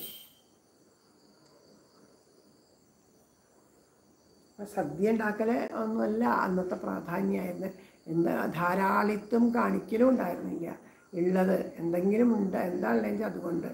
പറമ്പിൽ ധാരാളം ഉണ്ടായിരുന്നു. കപ്പ മത്തങ്ങ കുമ്പളങ്ങ പപ്പായ അങ്ങനെയുള്ള സാധനങ്ങൾ ധാരാളം വച്ച് പിടിപ്പിച്ചായിരുന്നു ഇതൊക്കെ തന്നെയായിരുന്നു. പണ്ടുള്ളവർ പറയില്ലേ മൂന്ന് മാസം ചക്കയും മാങ്ങയും മൂന്ന് മാസം ചെമ്പും ചേനയും അങ്ങനെ അത് കഴിഞ്ഞാൽ അങ്ങനെ ഓരോന്നും പറയും. മൂന്ന് മാസം ഇല ഇലക്കറികളൊക്കെ ആയിട്ട് പിന്നെ മൂന്ന് മാസം അങ്ങനെ ഇങ്ങനെ. അങ്ങനെ ഒന്നും ഭക്ഷണങ്ങൾ പച്ചക്കറികൾ അതിനൊരു ഇത് തന്നെയുണ്ട്. ഒരു കവിത തന്നെയുണ്ട് അങ്ങനെ. അങ്ങനെ കഴിഞ്ഞു കൂടിയായിരുന്ന കാലം ഉണ്ടായിരുന്നു. കാരണം ഭക്ഷണത്തിനായിരുന്നില്ല അന്ന് പ്രാധാന്യം. അന്ന് പരസ്പരം സ്നേഹം ബഹുമാനം ഈശ്വര ആ ഈശ്വരനെ നാമം ജപിക്കുക അമ്പലങ്ങളിൽ പോവുക. കൊച്ചു കുട്ടികളായാലും കൂടി ശരി കുളിച്ച് അമ്പലത്തിൽ പോയി ഒന്നും വരാതെ കണ്ട് അവർക്ക് അവിടുന്ന് ജലപാനമില്ല രാവിലെ എണീറ്റാൽ ആദ്യം പല്ല് തേച്ച് കുളിച്ച് ക്ഷേത്ര ദർശനം കഴിഞ്ഞ് വരണം. എന്നിട്ടേ അകത്ത് എന്തെങ്കിലും ഒരു ഉമിനീര് ഇറക്കുള്ളൂ. ഇന്ന് ബെഡ് കോഫി കിട്ടിയാലേ കുട്ടികളെ എണീക്കുള്ളൂ. അന്ന് നമ്മൾ പരസ്പരം സ്നേഹം എന്ന് വെച്ചാൽ ഉള്ളു തുറന്ന സ്നേഹമായിരുന്നു. നിഷ്കളങ്കമായ കുട്ടികളുടെ പോലെ നിഷ്കളങ്കമായതാണ് സ്നേഹം. തമ്മിത്ത ഇന്നത്തെ പോലെ അഭിനയമൊന്നുമല്ല കാണുമ്പോൾ അഭിനയമൊന്നും അല്ലായിരുന്നു അപ്പം നന്മയെല്ലാം വിട്ടുപോകാൻ കാരണം എന്താ? നമ്മളുടെ അത്യാഗ്രഹമാണ്. നമ്മളുടെ സുഖജീവിതത്തിനോടുള്ള അത്യാഗ്രഹമാണ്. ലൗകിക ആ സുഖത്തിന് വേണ്ടി നമ്മൾ നേടണതെല്ലാം നമുക്ക് ഇന്ന് കാണണ. ഈ മഹാമാരി മുതലായുള്ള രോഗങ്ങൾ ക്യാൻസർ അതുപോലെയുള്ള രോഗങ്ങളൊക്കെ എന്നറിയാൻ കാരണം ഈ കണ്ടുപിടുത്തങ്ങളെ കൊണ്ട് ഉണ്ടായതിന്റെ നെഗറ്റീവാണ്. അതിന്റെ ദോഷവശമാണ്. പണ്ട് അങ്ങനെ ഒരു ദോഷവശം ഉണ്ടായിരുന്നോ? മറ്റുള്ള എന്ത് രോഗം വന്ന് നിർമ്മാർജനം ചെയ്തു എന്ന് വിചാരിച്ചൊക്കെ ഇങ്ങനെ ഒരു ദോഷവശങ്ങളായിട്ടുള്ള രോഗങ്ങളൊന്നും ഉണ്ടായിരുന്നില്ല. അപ്പോൾ അതുകൊണ്ട് ഇങ്ങനെ ജന്മജന്മാന്തരങ്ങൾ എടുത്തിട്ട് നമ്മൾ ഈ മനുഷ്യജന്മം കിട്ടി. ആ മനുഷ്യജന്മത്തിന് മുമ്പ് എങ്ങനെയൊക്കെ ജീവിച്ചതാണ്? അങ്ങനെ എത്ര പഴ പാടുപെട്ടിട്ടാണ് അമ്മയുടെ ഗർഭപാത്രത്തിൽ വന്ന് വീണത്? ആ ഗർഭപാത്രത്തിൽ വന്ന് വീണത് തന്നെ ആലോചിച്ച് നോക്കൂ. കണ്ണിന് പോലും കാണാൻ പറ്റാത്ത ഒരു സൂക്ഷ്മ ജീവ ജീവനായിട്ടാണ് ജീവന്റെ അംശമാണ്. അതിന്റെ കഥ ഇതിൽ പറയും ഈ ജീവൻ എന്ന് പറയണത് ഈ ഭൂമിയിൽ ആരുടെ ഗർഭപാത്രത്തിലാണോ തന്റെ കർമ്മവാസനകൾ കൊണ്ട് തീരേണ്ടത്? അവരുടെ അന്നത്തിലൂടെയാണ് ഇത്ര എത്തുക? ഈ മഴ മഴയിലൂടെയാണ് ആ അത് ഭൂമിയിൽ പതിക്കുക. അത് ഭൂമിയിൽ പതിച്ചു കഴിഞ്ഞാൽ ധാന്യങ്ങളിലൂടെയാണ് ധാന്യത്തിലുണ്ടാവുമല്ലോ അതിലൂടെയാണ്. കാരണം ഈ കുട്ടികളൊന്നും ഇല്ലാത്തവർക്ക് ബീജം ഒക്കെ കുറവുള്ളവരോടൊക്കെ എന്താ പറയുക ധാ ധാന്യങ്ങളൊക്കെ നല്ലോണം കഴിക്കൂ എന്നൊക്കെ പറയും. ചില ധാന്യങ്ങൾക്ക് പ്രത്യേകതയുണ്ട്. അത് അവരോട് പറയാം അത് കഴിക്കാൻ പറയും. അതൊക്കെ കഴിച്ചാലുണ്ടാവും. കാരണം അതിൽ അങ്ങനെയുള്ള ആ ഏതെങ്കിലും ഒരു ധാന്യത്തിലാണ് ഈ ബീജത്തിന്റെ ഈ ബീജത്തിന്റെ ഈ ജീവന്റെ അംശം അവിടെ ഉണ്ടാവുക. അത് ആ പുരുഷ ബീജത്തിലൂടെ സ്ത്രീയിലേക്ക് എത്തിയിട്ട് ഏതൊരു അച്ഛനെയും അമ്മയെയാണോ നമുക്ക് അനുഭവിക്കാൻ യോഗമുള്ള ഏതൊരു കുടുംബത്തിലാണ് അവിടെ എത്തിപ്പെടുക ചെയ്യുന്നത്? നമ്മളെ അത് നമ്മുടെ കർമ്മഫലങ്ങൾക്കും കർമ്മവാസനകൾക്കും അനുസരിച്ചിട്ട് അവിടെ വന്ന് പെടുന്നത്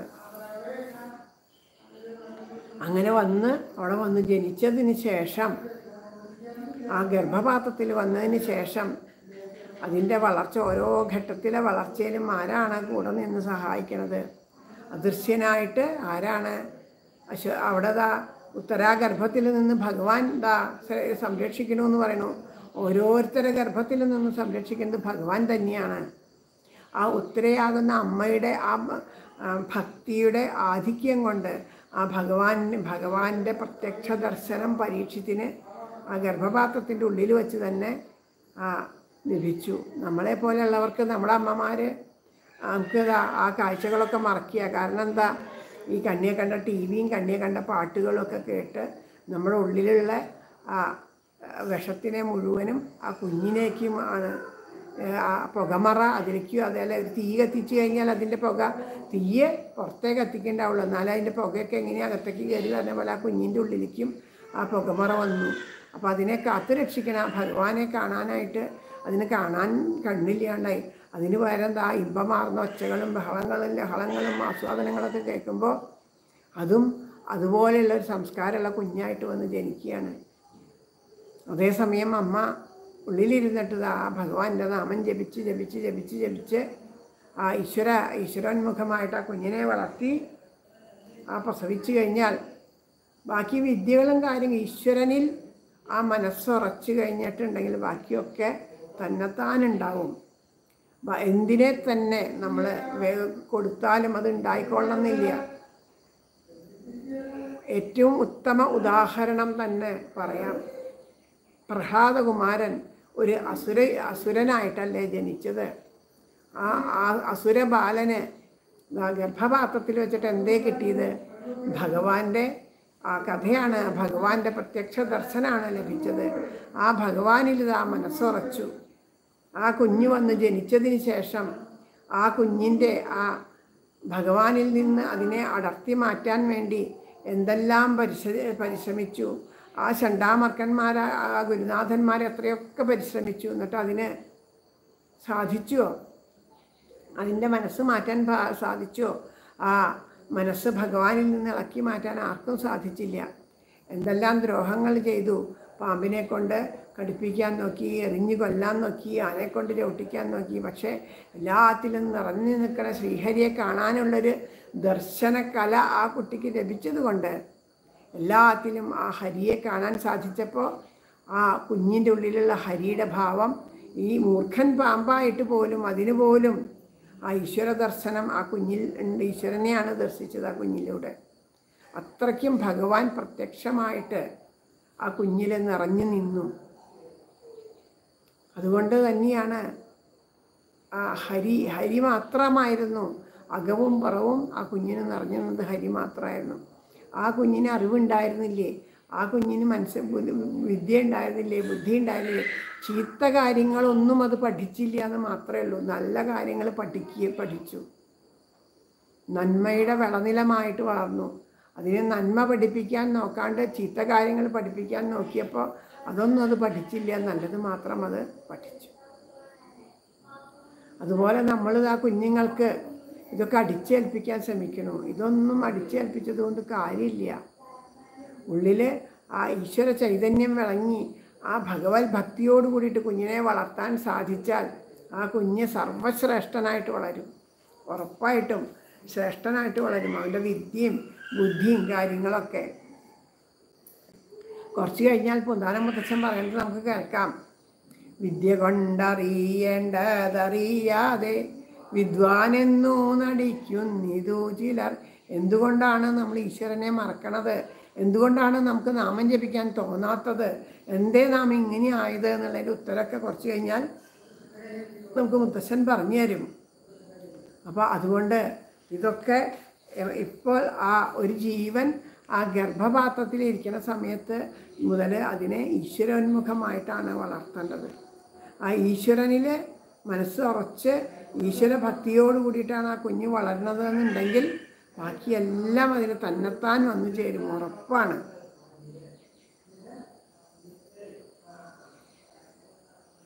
അതുപോലെ അതാ പറയണു. അടുത്തത് അടുത്ത് നോക്കാം. പത്തു മാസം വയറ്റിൽ കഴിഞ്ഞുപോയി പത്തു പന്തി രണ്ടുണ്ണിയായിട്ടും പോയി. തന്നെത്താൻ അഭിമാനിച്ചു പിന്നിടം. തന്നെത്താൻ അറിയാതെ കഴിയുന്നു.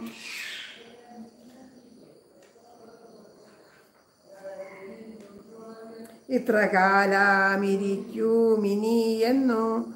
സത്യമോ നമുക്കേതുമൊന്നില്ലല്ലോ. നീർപ്പോള പോലെയുള്ളൊരു ദേഹത്തിൽ വീർപ്പു മാത്രമുണ്ടിങ്ങനെ കാണുന്നു. ഓർത്തറിയാതെ പാടുപെടും നേരം നേർത്തു പോകുമതെന്നേ പറയാവൂ. അത്രമാത്രമിരിക്കുന്ന നേരത്ത് കീർത്തിച്ചിടുന്നതില്ല തിരുനാമം കൃഷ്ണ കൃഷ്ണ മുകുന്ദ ജനാർദ്ദന കൃഷ്ണ ഗോവിന്ദ നാരായണ ഹരേ അച്യുതാനന്ദ ഗോവിന്ദ മാധവ സച്ചിദാനന്ദ നാരായണ ഹരേ. പത്തു മാസം വയറ്റിൽ കഴിഞ്ഞുപോയി പത്തു മാസം ആ വയറ്റിന്റെ ഉള്ളിൽ കഴിയണ ഗർഭകാലം അത്ര ദുസ്സഹമാണ്. ആ ഗർഭപാത്രത്തിന്റെ ഉള്ളിൽ കുംഭീഭാ കുംഭീഭാഗം നരകം കുംഭത്തിന്റെ ഉള്ളിൽ അതുപോലെയാണ് അത്ര. അതാണ് പറയുക ഗർഭപാത്രത്തിന്റെ ഉള്ളിൽ അനുഭവിക്കുന്നത് അത്രയും ചൂടാണ് എന്നാണ് പറയണത്. അതിനനുസരിച്ച് അമ്മ ചൂടുള്ള ആഹാരങ്ങൾ അമ്മയ്ക്ക് ചൂടുള്ള കാപ്പി ഇഷ്ടം ചൂടോടുകൂടി കാപ്പി കുടിക്കണു. അതുപോലെ എരിവുള്ള ആഹാരങ്ങൾ കഴിക്കണം ഉപ്പും പുളിയുള്ള ആഹാരങ്ങൾ കഴിക്കണം. ഇതൊക്കെ ആ തൊലി ആദ്യത്തെ ഒരു ഘട്ടം കഴിഞ്ഞ് ഇത് വലുതായി വരുമ്പോൾ ഈ കുഞ്ഞിന് ആ തൊലി വന്ന് പറഞ്ഞേക്കാളിന് മുമ്പ് തന്നെ ആ തൊലി രൂപാന്തരപ്പെടുന്നേക്കാളും മുമ്പ് ഈ ഭക്ഷണ സാധനങ്ങൾ ചെല്ലുമ്പോൾ ഇതൊക്കെ അതിനെ നേരിട്ടിട്ട് അതിന്റെ ശരീരത്തിൽ ഇതിന്റെ അംശങ്ങൾ നമുക്ക് അറിഞ്ഞൂടെ. കയ്യിൽ കൈകൊണ്ട് നമ്മൾ നല്ല എരിവുള്ള ഭക്ഷണം കഴിച്ചിട്ട് ഉണ്ടെങ്കിൽ നമ്മുടെ കൈ ചുട്ടു നീറണത് നമുക്കറിയാം മുളകൊന്ന് അരിഞ്ഞു കൈ ചുട്ടു നീർന്നില്ലേ? അപ്പോൾ നമ്മുടെ തൊക്കിനെ ആ ചുട്ടുനീറ്റ് അനുഭവിക്കുന്നുണ്ടെങ്കിൽ ആ തൊക്ക് പോലും ഇല്ലാത്ത കുഞ്ഞിനെ അത് എത്രമാത്രം തീക്ഷ്ണമായിട്ട് അനുഭവിക്കുന്നുണ്ടാവും? ആലോചിച്ച് നോക്കൂ. ആ തീഷ്ണമായിട്ട് അനുഭവിച്ച് പൊളയണേന്റെ കൂടെ ആ ഗർഭപാത്രത്തിന്റെ ആ അതിന്റെ ഉള്ളിൽ കിടക്കുന്ന കൊച്ചു കൊച്ചു കൃമികീടങ്ങളൊക്കെ അതിനെ കടിക്കും അപ്പോൾ അതിന്റെ വേദന വേറെ. ഇതെല്ലാം അനുഭവിച്ച് അനുഭവിച്ച് കിടക്കുന്ന സമയത്ത് നമ്മൾ ഈശ്വരനാമം അല്ല പറഞ്ഞു കൊടുക്കുമ്പോൾ ഈശ്വരന്റെ നാമം ജപിച്ച് നാമം ജപിച്ച് കൊടുക്കുമ്പോൾ അതിന് ആ ഗർഭപാത്രത്തിന്റെ ഉള്ളിൽ തന്നെ വെച്ചിട്ട് ഈശ്വര ചിന്ത ഉണ്ടാവണം അപ്പോൾ ആ ഈശ്വര ചിന്തയോടുകൂടി അതിങ്ങനെ ശ്രദ്ധിച്ച് ശ്രദ്ധിച്ച് കേട്ട് കിടക്കുമ്പോൾ അതിന് ആ ഈശ്വരനിൽ അതിന്റെ മനസ്സുറയ്ക്കുമ്പോൾ ആ കുറേ ഗർഭകാലത്ത് ഉണ്ടാവണ ആ കുംഭീഭാഗ നരകത്തിന്റെ ആ തീവ്രതയൊക്കെ കുറയും എന്നാണ് പറയണത്. അതുകൊണ്ട് സദാ നാമം ജപിക്കണം. അമ്മമാർ സദാ നാമം ജപിക്കണം. ധാരാളം നാമജപം ഭഗ- ഭാഗവത സപ്താഹം അങ്ങനെയുള്ള കാര്യങ്ങളൊക്കെ കേൾക്കണം. ഭാഗവത പാരായണങ്ങൾ പുരാണ പാരായണങ്ങളൊക്കെ കേൾക്കണം. കേൾക്കുകയും വേണം. ധാരാളം കേൾക്കണം. ഈ കുഞ്ഞു ജീവന് കേൾക്കാൻ പാകത്തിന് ഉറക്ക നാമം ജപിക്കണം എന്നൊക്കെ പറയും. അങ്ങനെ നാമം ജപിച്ച് നാമം ജപിച്ച് നാമം ജപിക്കുമ്പോൾ ഉള്ളിൽ വെച്ചിട്ട് തന്നെ തന്റെ ആ താൻ അനുഭവിച്ചുകൊണ്ടിരിക്കുന്ന തീവ്രമായ ആ ശാരീരിക ഭാ ദുഃഖ വേദനകൾക്ക് ഈ നാമജപം ഒരു ആശ്വാസം തരുന്നുണ്ടെന്ന് കാണുമ്പോൾ ആ കുട്ടിയുടെ ഉള്ളിൽ ആ ജീവന്റെ ഉള്ളിൽ ഉറയ്ക്കും. ഇത് എനിക്ക് സംരക്ഷണമാണ് എന്നുള്ളത് ഉറയ്ക്കും. പിന്നെ അത് ജനിച്ച് വീഴുമ്പോൾ അതിന് സംരക്ഷണമായിട്ട് വരുന്നത് അതാണ്.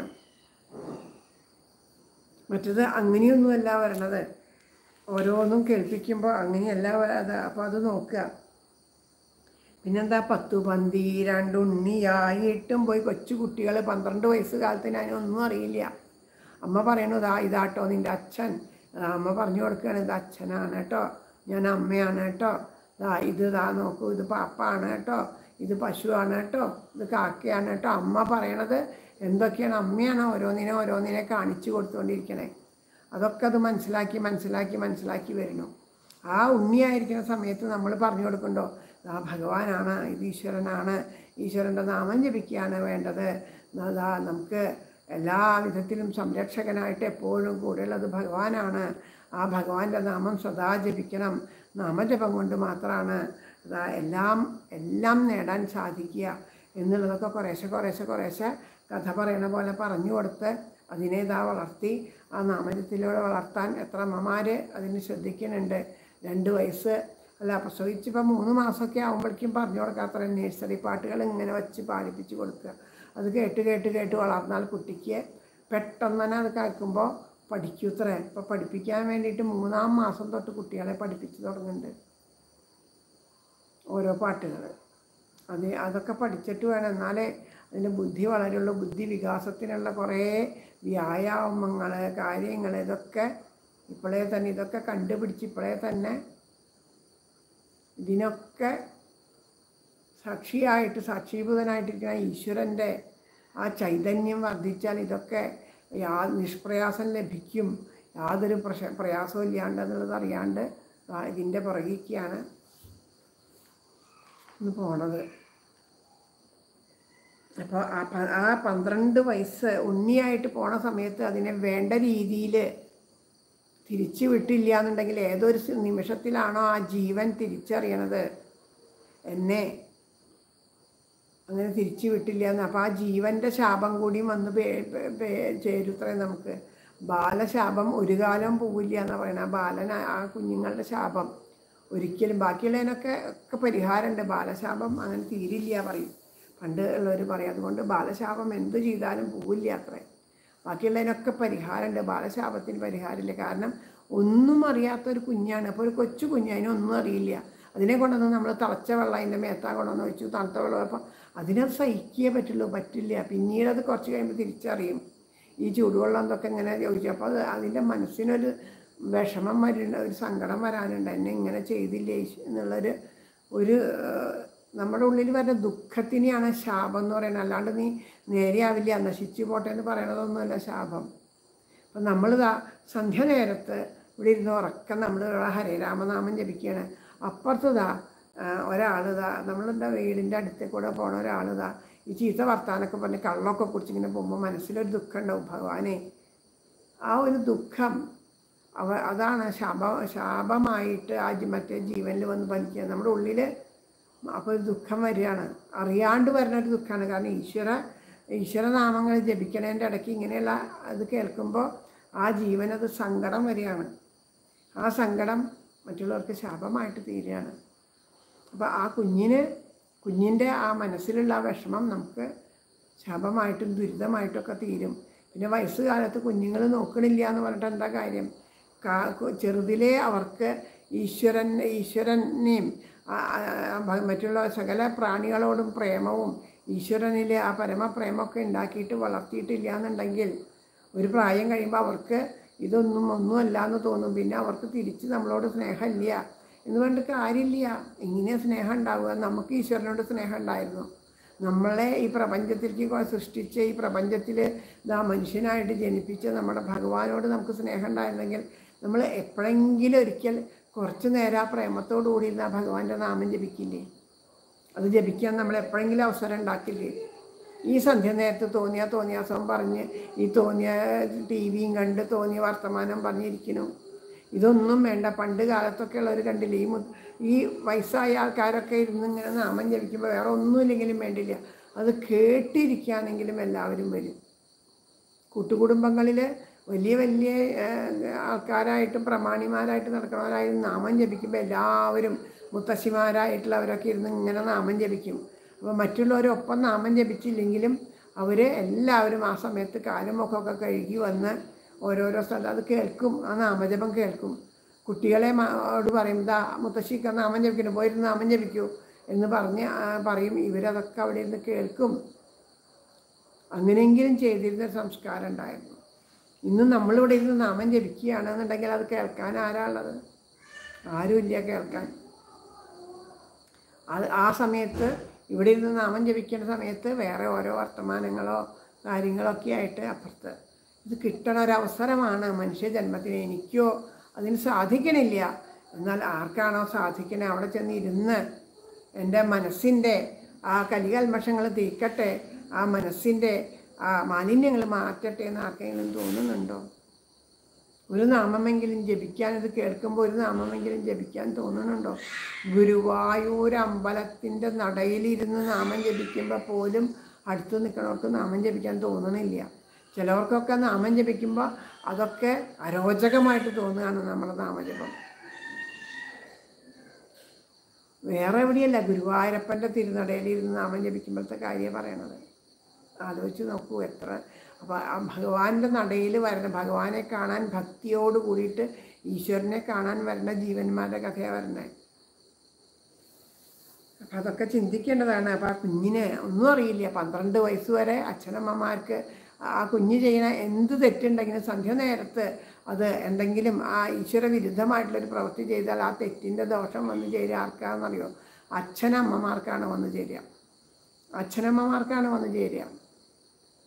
അതിന്റെ ദുഃഖവും ദുരിതങ്ങളും അനുഭവിക്കേണ്ടി വരുന്നപ്പോൾ പിന്നെ ആ ദുഃഖവും ദുരിതങ്ങളും അനുഭവിക്കേണ്ടത് അച്ഛനമ്മമാർ തന്നെയാണ്. കുഞ്ഞിലൂടെ തന്നെ എന്തെങ്കിലും മനപ്രയാസം ഉണ്ടാവും അവർക്ക്. ആ കുഞ്ഞിന്റെ ഏതെങ്കിലും പ്രവൃത്തി മൂലമോ എന്തെങ്കിലും കാരണങ്ങളെ കൊണ്ടോ മനപ്രയാസം ഉണ്ടായിട്ട് ദുഃഖിക്കേണ്ടി വരും. കുഞ്ഞിന് വേണ്ടി അപ്പോൾ അത് എന്ത് എന്തുകൊണ്ടാണ് ദുഃഖം വരുന്നത്? നമ്മളുടെ പ്രവൃത്തി ദോഷം കൊണ്ടാണ്. നമ്മൾ ആ പന്ത്രണ്ട് വയസ്സ് വരെ അതുപോലെ സംരക്ഷിക്കണം എന്നാണ് പറയണത്. സ്നേഹത്തോട് കൂടിയിട്ട് ആ ആ സ്നേഹവും ലാളനയും നമ്മൾ മാത്രമല്ല അച്ഛനും അമ്മയും മാത്രമല്ല നിനക്ക് നാഥൻ. ശ്രീ ഗുരുവായൂരപ്പനും നിന്റെ നാഥനാണ്. ഭഗവാനെ കഴിഞ്ഞിട്ടേ അച്ഛനും അമ്മയുള്ളൂ അച്ഛനും അമ്മയും നിന്നെ ഇങ്ങനെ സ്നേഹിക്കാനും നിന്നെ പരിപാലിക്കാനും നിനക്ക് മാമൻ കൂട്ടാൻ മാമ കൂട്ടാനും നിനക്ക് കളിപ്പാട്ടം വാങ്ങി തരാനൊക്കെ അച്ഛനും അമ്മയ്ക്കും സാധിക്കണത് ആ ഗുരുവായൂരപ്പന്റെ ആ സ്നേഹം കൊണ്ടാണ് കാരുണ്യം കൊണ്ടാണ് അനുഗ്രഹം കൊണ്ടാണ് എന്നൊക്കെ ആ കുഞ്ഞിന്റെ ഭാഷയിൽ അതിന് പറഞ്ഞ് മനസ്സിലാക്കി അതിന്റെ ഉള്ളിൽ ആ ഈശ്വരനെ ഉറപ്പിക്കാം. എന്നാലേ കാര്യമുള്ളൂ. അപ്പോൾ ആ പന്ത്രണ്ട് വയസ്സ് വരെ ഉണ്ണിയായിട്ട് ഇങ്ങനെ കളിച്ച് കളിച്ച് കളിച്ച് ബാലസ്ഥാവൽ ക്രീഡാസക്ത തരുണീസ്ഥാവൽ തരുണസ്ഥാവൽ തരുണീസക്ത എന്നൊക്കെ പറയണില്ലേ? അതുപോലെ ആ കളിച്ച് പോവുകയാണ് ഈശ്വരനെ അറിയാണ്ട് പോവുകയാണെങ്കിൽ അവരുള്ളവരെന്ത് ചെയ്യും? അവർക്ക് ഈശ്വര ഈശ്വരാനുഗ്രഹം കൊണ്ടാണ് ഭഗവാന്റെ കാരുണ്യം കൊണ്ടാണ് എന്റെ കൈ ചലിക്കണത് എന്റെ കാൽ ചലിക്കണത് എന്റെ ബുദ്ധി പ്രവർത്തിക്കണത് വേണ്ടത് വേണ്ട പോലെ തോന്നണത് എന്നൊന്നും അവർക്ക് തോന്നില്ല. എന്തൊക്കെയോ ആ പറഞ്ഞൂല പൂർവകർമ്മങ്ങളിൽ ചെയ്ത നല്ല കർമ്മങ്ങളും ഉണ്ടാവും ചീത്ത കർമ്മങ്ങളും ഉണ്ടാവും. അത് സമമാവുമ്പോഴാണ് മനുഷ്യജന്മം കിട്ടണത്. അതിൽ ആ പുണ്യകർമ്മങ്ങൾ പിന്നെയും കൂടുതൽ വരുമ്പോഴാണ് ഭൂമി മനുഷ്യനായിട്ട് ഭൂ- ഭാരതത്തിൽ വരണേന്നൊക്കെ പറഞ്ഞല്ലോ അപ്പോൾ ആ കർമ്മ പ്രാരാബ്ധത്തിൽ മൂടിക്കിടക്കണ ജീവന് മനസ്സിലാവുന്നുണ്ടാവില്ല. ഇത് ഈശ്വരന്റെ ഈ ഞാൻ ഈ അനുഭവിക്കുന്നത് ഈശ്വരനെയാണ് ഈശ്വരന്റെ കാരുണ്യം കൊണ്ടാണ്. ഭഗവാൻ അറിയാണ്ട് ഇവിടെ ഒന്നും നടക്കണില്ല അതൊന്നും അതിനറിയില്ല അത് ചെയ്യണ പ്രവൃത്തികളൊക്കെ ഞാനാണ് നിന്റെയൊക്കെ ആൾ. ഞാൻ ഈ ശരീരമാണ് ഈ ശരീരമാകുന്ന ഞാനാണ് ഇത് ചെയ്യണത്. എന്നെ എന്നുള്ള ഒരു ദുരാ അഭിമാനം ഞാൻ എന്നൊരു അഭിമാനം ഉണ്ടല്ലോ. ഈ ശരീരമാണ് ഞാൻ എന്ന് തോന്നുകയാണ്. ആ ശരീരത്തെ ആ ഞാൻ എന്നുള്ള അഭിമാനത്തോട് കൂടിയിട്ട് തന്നെ ഇങ്ങനെ എന്നെ വെല്ലാൻ ആരും എനിക്ക് ഇതിന്റെ ഒന്നും ആവശ്യമില്ല എന്നുള്ള ആ അഹം ഭാവത്തോട് കൂടിയിട്ട് തന്നെത്താൻ അഭിമാനിച്ചു. പിന്നേടം താൻ അറിയാതെ കഴിയുന്നു. അതെങ്ങനെയാണ് തന്നെ താൻ അറിയാണ്ട് കഴിയുക എന്ന് പറഞ്ഞാൽ താൻ ആരാണ്? താൻ എന്താ? ആ സർവപ്രപഞ്ചത്തിനും ആധാരഭൂതനായ ആ ഭഗവാൻ തന്നെയാണ്. ഉള്ളിലെ ആത്മാവായിട്ടിരിക്കേണ്ട ഈശ്വരൻ തന്നെയാണ്. ആ ഈശ്വരന്റെ ചൈതന്യമാണ് എന്നിൽ പ്രവർത്തിക്കുന്നത്. ആ ചൈതന്യത്തിന്റെ പ്രഭാവം കൊണ്ടാണ് എനിക്കിതിനെല്ലാം സാധിക്കുന്നത്. ഞാൻ എന്നുള്ള ആ സത്യത്തിനെ ബോധിക്കാണ്ട് ഈ ശരീരം ഞാനാണെന്നും പറഞ്ഞ് അതിൽ അഭിമാനിച്ച് തന്നെത്താൻ അറിയാണ്ട് ദാ പിന്നെ കഴിഞ്ഞു പോവുകയാണ് ചെയ്യുന്ന അടുത്ത കാലങ്ങൾ കഴിഞ്ഞു പോവുകയാണ്. അപ്പം തനിക്ക് അവസ ആ ഒരു ഈശ്വരനെ അറിയാൻ സാധിക്കാണ്ട് പോവുകയാണ്. ഇതെല്ലാം ഇതിനെല്ലാം ആ ചെറുപ്പത്തിൽ നമ്മളെപ്പോഴും ഓരോ അമ്മമാരും അച്ഛനമ്മമാരും ഓർക്കേണ്ട ഒരു കാര്യമാണ്. കുഞ്ഞിനെ നിങ്ങൾ വിചാരിക്കണ പോലെ അത്രയ്ക്ക് ബുദ്ധിയോടും ശക്തിയോടും കാര്യത്തോടും കൂടി വളരണം എന്നുണ്ടെങ്കിൽ ഏറ്റവും ആദ്യം വേണ്ടത് തന്നെത്താൻ അറിയണം. തന്നെത്താൻ എന്ന് വെച്ചാൽ ആ ഉള്ളിലിരിക്കുന്ന ഈശ്വര ചൈതന്യത്തിനെ തിരിച്ചറിയണം. ആ ചൈതന്യത്തിന്റെ ശക്തി കൊണ്ടാണെന്ന് തിരിച്ചറിയണം. ഞാൻ ഞാൻ ഞാൻ ഓരോ പ്രവ പഠിക്കുമ്പോൾ ആ കുഞ്ഞിന് കരുത്തുണ്ടോ? ഞാൻ പഠിച്ചു കഴിഞ്ഞാൽ എന്റെ ബുദ്ധി വേണ്ടത് വിധത്തിൽ പ്രവർത്തിപ്പിച്ച് ഈശ്വരൻ അതിനെ സഫലമാക്കി തരും. ജോലി ചെയ്യുമ്പോൾ വേണ്ടത് വേണ്ടതുപോലെ ചെയ്ത് അതിനെ ഈശ്വരൻ സഫലമാക്കി തരും. കാരണം എന്റെ ഉള്ളിൽ ആത്മാവായിട്ട് എന്നും എന്റെ കൂടെ ഗുരുവായൂരപ്പനുണ്ട് എന്നുള്ള സത്യം അത് ബോധിക്കുകയാണ് ചെയ്യുക. അല്ലാണ്ട് സന്യാസം സ്വീകരിച്ച് ഇതൊന്നും ഉപേക്ഷിച്ച് ഒരാളും പോവില്ല. കർമ്മവാസനകൾ വിട്ടുപോകാണ്ടൊന്നും അങ്ങനെ പോകില്ല നമ്മൾ വിചാരിക്കണ പോലെയൊന്നുമല്ല. നാമം ജപിക്കണവർ മുഴുവനും ഈ സന്യാസം സ്വീകരിക്കും ചെന്നിവിടെ സന്യാസികളെ കൊണ്ടൊന്നും അറിയണ്ടേ? പിന്നെ ഈ പറഞ്ഞോണം തന്നെ എല്ലാം സംന്യസിക്കുക എല്ലാം ഉപേക്ഷിക്കണവരാണ്. മനസ്സുകൊണ്ടും ശരീരം കൊണ്ടും ഉപേക്ഷിക്കണവരാ സന്യാസിമാരെന്ന് വെച്ചാൽ ഇന്ന് വനത്തിലെ സന്യാസിമാരെന്ന് അറിയേണ്ടതായിരുന്നു. അപ്പോൾ അതൊക്കെ ആലോചിച്ച് നോക്കുക എന്താണ് സന്യാസം എന്താണ് വാനപ്രസ്ഥം എന്നുള്ളതൊക്കെ കഴിഞ്ഞ ദിവസം പറയേണ്ടായി. അതൊക്കെ വേണ്ട രീതിയിൽ നമുക്ക് ഉൾക്കൊള്ളാൻ സാധിക്കുക.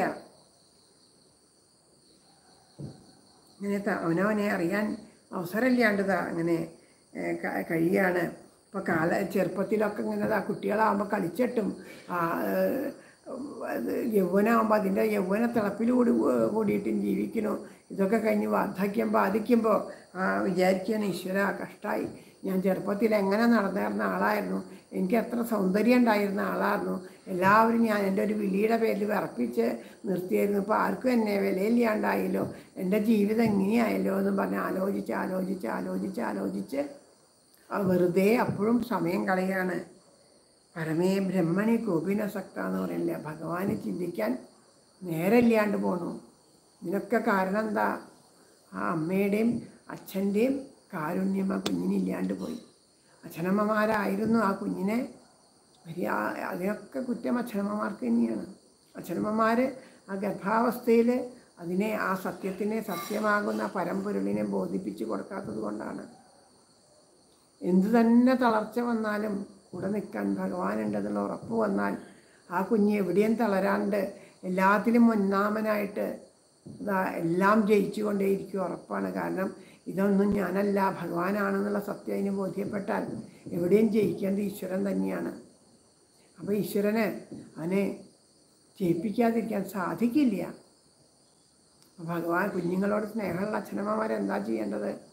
ആ സത്യത്തെയാണ് അവർ ബോധിപ്പിച്ച് കൊടുക്കേണ്ടത്. നമുക്കറിയോ ഇനി എത്ര കാലമുണ്ട്? ഇത്ര കാലാമിരിക്കും ഇനി എന്നും സത്യമോ നമുക്കേതും ഒന്നില്ലല്ലോ നമ്മൾ പറയണു നാളെ ആവാം മറ്റന്നാളാവാം അടുത്ത ദിവസം ആവാം എന്നൊക്കെ പറയേണ്ടത് അടുത്ത നിമിഷം ദാ ഈ പറഞ്ഞ വാക്ക് പുറത്തേക്ക് വരുമോ അതോ എടുത്ത ശ്വാസം അകത്തേക്ക് വലിക്കുമോ എന്ന് നമുക്ക് നിശ്ചയമില്ല. അതുപോലെയുള്ളൊരു കാലത്തിലൂടെയും എല്ലാ കാലവും അങ്ങനെയാണ്. പക്ഷേ ഈ കാലം പ്രത്യേകിച്ച് നമ്മളായിട്ടാണ് ആ കാലത്തിന്റെ ഗതി ഇങ്ങനെയാക്കി തീർത്തത്. വേറൊരാളെയും കുറ്റം പറയാനില്ല അവിടെ അവനവന്റെ ഓരോരുത്തരും അതിന് ഉത്തരവാദികളാണ്. ഓരോരുത്തരും അതിന് ഉത്തരവാദികളാണ്. അങ്ങനെയുള്ള കാലത്തിലൂടെ പോകുമ്പോൾ എത്ര കാലമുണ്ട് എങ്ങനെയാണ് ഒന്നും അറിയില്ല. എന്നിട്ട് നമുക്ക് പരസ്പരം ഈ ഒരു ഒരു കൂരയുടെ ഉള്ളിൽ പല ദിക്കിലെ പല മുറികളിൽ നിൽക്കണ ഓരോരോ യന്ത്രപ്പാവകൾ പോലെയായില്ലേ നമ്മൾ പരസ്പരം സ്നേഹിക്കാനോ വർത്തമാനം പറയാനോ ഒരുമിച്ചിരിക്കാനോ കളിക്കാനോ ചിരിക്കാനോ നമുക്ക് അവസരമുണ്ടോ? നമുക്ക് സമയമുണ്ടോ? ഒന്നിനും സമയമില്ല നമുക്ക്. ഒരു വസ്തുവിന് സമയമില്ല. നീർപ്പോള പോലെയുള്ളൊരു ദേഹത്തിൽ വീർപ്പു മാത്രമുണ്ടിങ്ങനെ കാണുന്നു. ഒരു വെള്ളത്തിൽ കിടക്കുന്ന ഒരു പോളയുണ്ട്. ആ പോളയുടെ ഉള്ളിൽ കിടക്ക പോള പോലെയാണ് നമ്മുടെ ശരീരത്തിലെ ഈ വീർപ്പ്. ഏത് നിമിഷം വേണമെങ്കിലും ആ പോള പൊട്ടിപ്പോവുക അല്ലേ? വെള്ളത്തിലുണ്ടാകുന്ന ഒരേം പതയം വരുമ്പോൾ അല്ലെങ്കിൽ നമ്മൾ ഈ കുട്ടികളൊക്കെ ഉണ്ട് ഇപ്പോൾ ഈ സോപ്പ് ഇങ്ങനെ പതപ്പിച്ചിട്ട് ഫൂ എന്നിങ്ങനെ ഊതി വിടും. ആ പോളയുടെ ഉള്ളിലുള്ള അത് അതെപ്പോൾ വേണമെങ്കിലും ആ പോള പൊട്ടാം. അത് കാണുമ്പോൾ ആ പ്രപഞ്ചത്തിന്റെ അതായത് ആ സൂര്യപ്രകാശത്തിന്റെയൊക്കെ അതിന്റെ ഉള്ളിൽ ആ ശരിക്കും ആ മഴവില്ലൊക്കെ കണ്ട് പല വർണങ്ങളിലും എന്തൊരു ഭംഗിയുള്ള പോളയല്ലേ. പക്ഷെ എത്ര നിമിഷം ഉണ്ട് അത് പൊട്ടിപ്പോവാൻ. അതിന്റെ ഭംഗിയെ പൊട്ടിപ്പോയിപ്പോൾ ഭംഗി അവിടെ നിലനിന്നോ. എവിടെ പോയതെല്ലാം. അങ്ങനെയല്ലേ നമ്മളുടെ ജീവനും. ഇത് എത്ര നേരെ ഇരിക്കും. ഏത് സമയത്ത് ഇത് നേർത്ത് പോയാൽ കഴിഞ്ഞു. അത്രയേ ഉള്ളൂ നമ്മുടെ സമയം. അത്ര നിസ്സാരമായ സമയത്ത് അത്രമാത്രമിരിക്കുന്ന നേരത്ത് കീർത്തിച്ചിടുന്നതില്ല തിരുനാമം. കൃഷ്ണ കൃഷ്ണ മുകുന്ദ ജനാർദ്ദന കൃഷ്ണ ഗോവിന്ദ നാരായണ ഹരേ. അച്യുതാനന്ദ ഗോവിന്ദ മാധവ. സച്ചിദാനന്ദ നാരായണ ഹരേ. ആ സമയത്ത് നമ്മൾ നാമം ജപിക്കാനായിട്ട് ഇരിക്കണില്ല നമുക്ക് നാമം ജപിക്കാൻ തോന്നണില്ല. പല കാരണങ്ങൾ പറഞ്ഞ് നമ്മൾ ആകെ കൂടി ഒഴിവാക്കുന്നത് നാമജപമാണ് രാവിലെ എണീക്കുമ്പോൾ ആഹാരം കഴിക്കുന്നത് പല്ല് തേക്കണത് ഒഴിവാക്കുന്നുണ്ടോ ദിനചര്യങ്ങൾ ഒഴിവാക്കുന്നുണ്ടോ ആഹാരം കഴിക്കുന്നത് ഒഴിവാക്കുന്നുണ്ടോ ആ അത് പല ചോറും കൂട്ടാനും ഉപ്പേരി പലവിധത്തിലുള്ള ആഹാരങ്ങൾ ഉണ്ടാക്കുന്നത് ഒഴിവാക്കുന്നുണ്ടോ ബാക്കിയുള്ള കാര്യങ്ങൾ എന്തെങ്കിലും ഒരു കാര്യം ഒഴിവാക്കുന്നുണ്ടോ ആകെ കൂടി നമ്മൾ ഒഴിവാക്കുന്നത് എന്താ? സമയമില്ലാണ്ട് വരുമ്പോൾ നാമം ജപം മാത്രം ഒഴിവാക്കണം. ബാക്കി ഒരു കാര്യവും നമ്മൾ ഒഴിവാക്കണില്ല. ബാക്കി ഒന്നുമില്ല. കാരണം ഏതാണോ ഒരു നമുക്ക് ഏറ്റവും പ്രധാനം. ഓരോ ജീവനെയും നിലനിൽപ്പിന് അത്യാവശ്യമായിട്ടുള്ളത് എന്താണോ അതിനെ നമ്മൾ ഉപേക്ഷിക്കുകയാണ് ചെയ്യുന്നത് പിന്നെ എങ്ങനെയാണ് ശ്വാസം മുട്ടാണ്ടിരിക്കുക? കോവിഡൻ വരുന്ന ആ പ്രാണന് വേണ്ടി പിടയണ ഇത് എങ്ങനെയാ പ്രാണനെ നമ്മൾ ശ്രദ്ധിച്ചിട്ടില്ലേ? പിന്നെ എങ്ങനെയാ? പ്രാണൻ നമോ ഭഗവതേ പുരുഷായ തുഭ്യം യോന്തപ്രവശ്യ മമ സഞ്ജീവയത്യഖിലശക്തിധരസ്വധാംന അന്യാംശ്ച ഹസ്തചരണശ്രവണത്വഗാദീൻ. പ്രാണൻ നമോ ഭഗവതേ പുരുഷായ തുഭ്യം. ആ പ്രാണന് വേണ്ടിയിട്ട് നമ്മൾ ഒന്നും ചെയ്തിട്ടില്ല. ആ പ്രാണനെ നമുക്ക് വേണം. അത് നിലനിൽക്കണം. അതിനെ സംരക്ഷിക്കണം എന്ന് വെച്ചാൽ നമ്മളൊന്നും ചെയ്തിട്ടില്ല. പിന്നെ എങ്ങനെയാ പ്രാണൻ അടയാണ്ടിരിക്കുക. ആലോചിച്ച് നോക്കുക. ഇതൊക്കെ നമുക്ക് ചിന്തിക്കാൻ വേണ്ടിയിട്ടാണ് ഓരോ ദിവസം ഓരോ നിമിഷവും ഭഗവാൻ നമുക്ക് തരണത് ആ ഭഗവാനോട് കൂടുതൽ അടുക്കാൻ വേണ്ടിയിട്ടാണ്. ബാക്കിയുള്ള കാര്യങ്ങൾ ദിവസങ്ങൾ ഇത് നാളെ നമുക്ക് അനുസ്മരിക്കാൻ സാധിക്കട്ടെ ഗുരുവായൂരപ്പൻ അനുഗ്രഹിക്കട്ടെ. കൃഷ്ണ കൃഷ്ണ മുകുന്ദ ജനാർദ്ദന. കൃഷ്ണ ഗോവിന്ദ നാരായണ ഹരേ. അച്യുതാനന്ദ ഗോവിന്ദ മാധവ. സച്ചിദാനന്ദ നാരായണ ഹരേ. ആ നാമം ജപിക്കാനായിട്ട് എല്ലാവർക്കും തോന്നട്ടെ. എല്ലാവരുടെ ഉള്ളിലും ആ പ്രാണൻ ആയിട്ട് ആ ശക്തിയായിട്ട് ആ ചൈതന്യമായിട്ട് നിൽക്കുന്നത് ആ ഭഗവാൻ തന്നെയാണ്. നമ്മൾ സ്വയം നാമം ജപിക്കുന്നതോട് കൂടിയിട്ട് പന്ത്രണ്ട് വയസ്സ് വരെ. അതുവരെ നിങ്ങൾ അത് കഴിഞ്ഞാൽ നിങ്ങളൊന്നും നോക്കണ്ട. അതിനെ ഉള്ളിലിട്ട് കൊടുത്താൽ അത് സമയമാവുമ്പോൾ പൊട്ടി മുളച്ചോളും എന്ന് ഭഗവാൻ പറയുന്നുണ്ട് ഭക്തന്മാർ പറയുന്നുണ്ട് അത് സത്യമാണ്. ആ പന്ത്രണ്ട് വയസ്സ് വരെ നമ്മളുടെ തന്നെ ഉത്തരവാദിത്വമാണ് അത് ഇത് ബോധിപ്പിക്കാനുള്ളത്. അത് ചെയ്തിട്ടില്ല. അതാണ് നമ്മളുടെ കടമ. ആ കടമ നമ്മൾ നിർവഹിക്കാണ്ട് പിന്നെ എന്ത് കടമ നിർവഹിച്ചിട്ട് എന്താ കാര്യം? ഒരു മോഷ്ടാവിന്റെ കഥ പറയുന്ന പോലെ ആ കുഞ്ഞ് ചെറുപ്പത്തിലെ അടുത്ത വീട്ടിൽ പോയിട്ടൊരു എന്തോ വിശന്നപ്പോൾ എന്തോ മോഷ്ടിച്ച് കൊണ്ടുവന്നു. സാരല്ലേ വിശന്നിട്ടല്ലേ കുഞ്ഞല്ലേ കഴിച്ചോട്ടെ എന്ന് വിചാരിച്ചു അതിന്റെ അമ്മ. പിന്നെ അതാ അത് സ്കൂളിൽ പോയി പഠിക്കാൻ തുടങ്ങിയപ്പോൾ അതിന് എഴുതാൻ പെൻസിലില്ല ടീച്ചർ ചീത്ത പറയുന്നുണ്ട് അടുത്ത കുട്ടിയുടെ ഇതിന്റെ പെൻസിൽ എടുത്തു കൊണ്ടുവന്നു. അപ്പോൾ എഴുതാനില്ല എനിക്കാണെങ്കിൽ മേടിച്ചെടുക്കാൻ കാശില്ല. അതിന് ചീത്ത സാരല്ല അതുകൊണ്ട് എഴുതിക്കോട്ടോ സാരല്ല എന്ന് പറഞ്ഞു. അങ്ങനെ ആ കുട്ടിക്ക് പിന്നെ പിന്നെ പിന്നെ പിന്നെ അവൻ അത് വലിയൊരു മോഷ്ടാവായി. അവസാനം അവന് ഈ തനിക്ക് ഇഷ്ടമുള്ളത് കിട്ടാൻ വേണ്ടി പലതും ചെയ്യും. അങ്ങനെ അവൻ കൊലപാതകം വരെ ചെയ്തു. അവസാനം അവന് ആ തൂക്കു മരത്തിൽ ശിക്ഷ ഏറ്റുവാങ്ങുകയാണ് ശിക്ഷ ഏറ്റുവാങ്ങണ സമയത്ത് ചോദിച്ചു അത്യാ അവസാനമായിട്ട് എന്തെങ്കിലും ആഗ്രഹം ഉണ്ടെങ്കിൽ പറഞ്ഞോളൂ എന്ന് അപ്പോൾ എനിക്ക് എന്റെ അമ്മയോട് ഒരു കാര്യം പറയാനുണ്ട് എന്ന് പറഞ്ഞു. അപ്പോൾ അമ്മ അടുത്തേക്ക് ചെന്നപ്പോൾ അതിങ്ങോട്ട് കൊണ്ടുവരൂ ചെവി.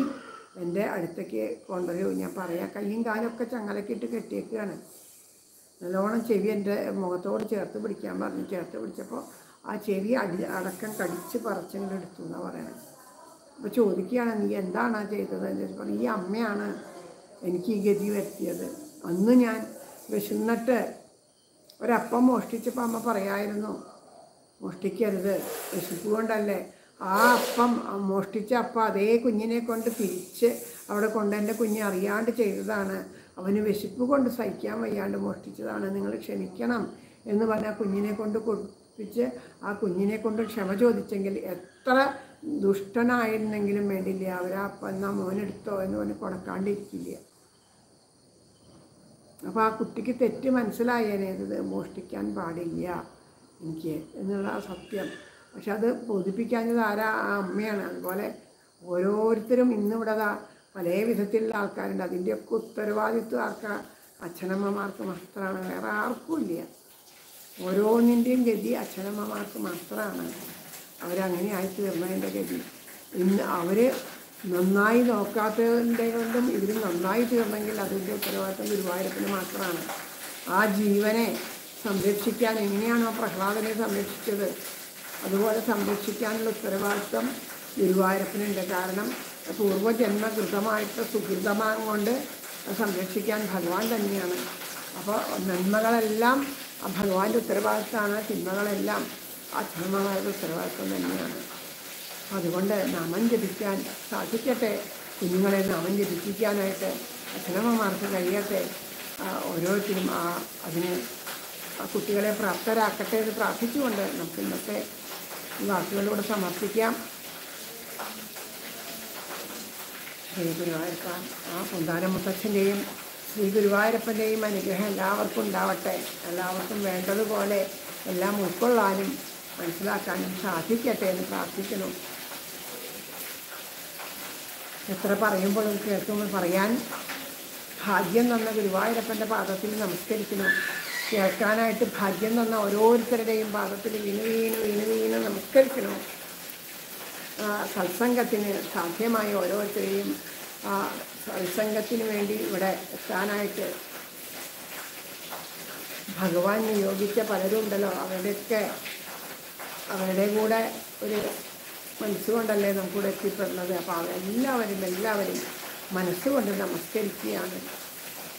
എല്ലാവരുടെ ഉള്ളിലും ആത്മാവായി നിൽക്കുന്ന ഗുരുവായൂരപ്പം തന്നെയാണ്. എല്ലാവർക്കും എല്ലാ നന്മകളും ഉണ്ടാവട്ടെ.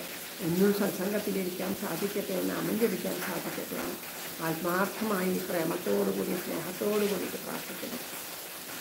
ഹരേ രാമ ഹരേ രാമ രാമ രാമ ഹരേ ഹരേ. ഹരേ കൃഷ്ണ ഹരേ കൃഷ്ണ. കൃഷ്ണ കൃഷ്ണ ഹരേ ഹരേ.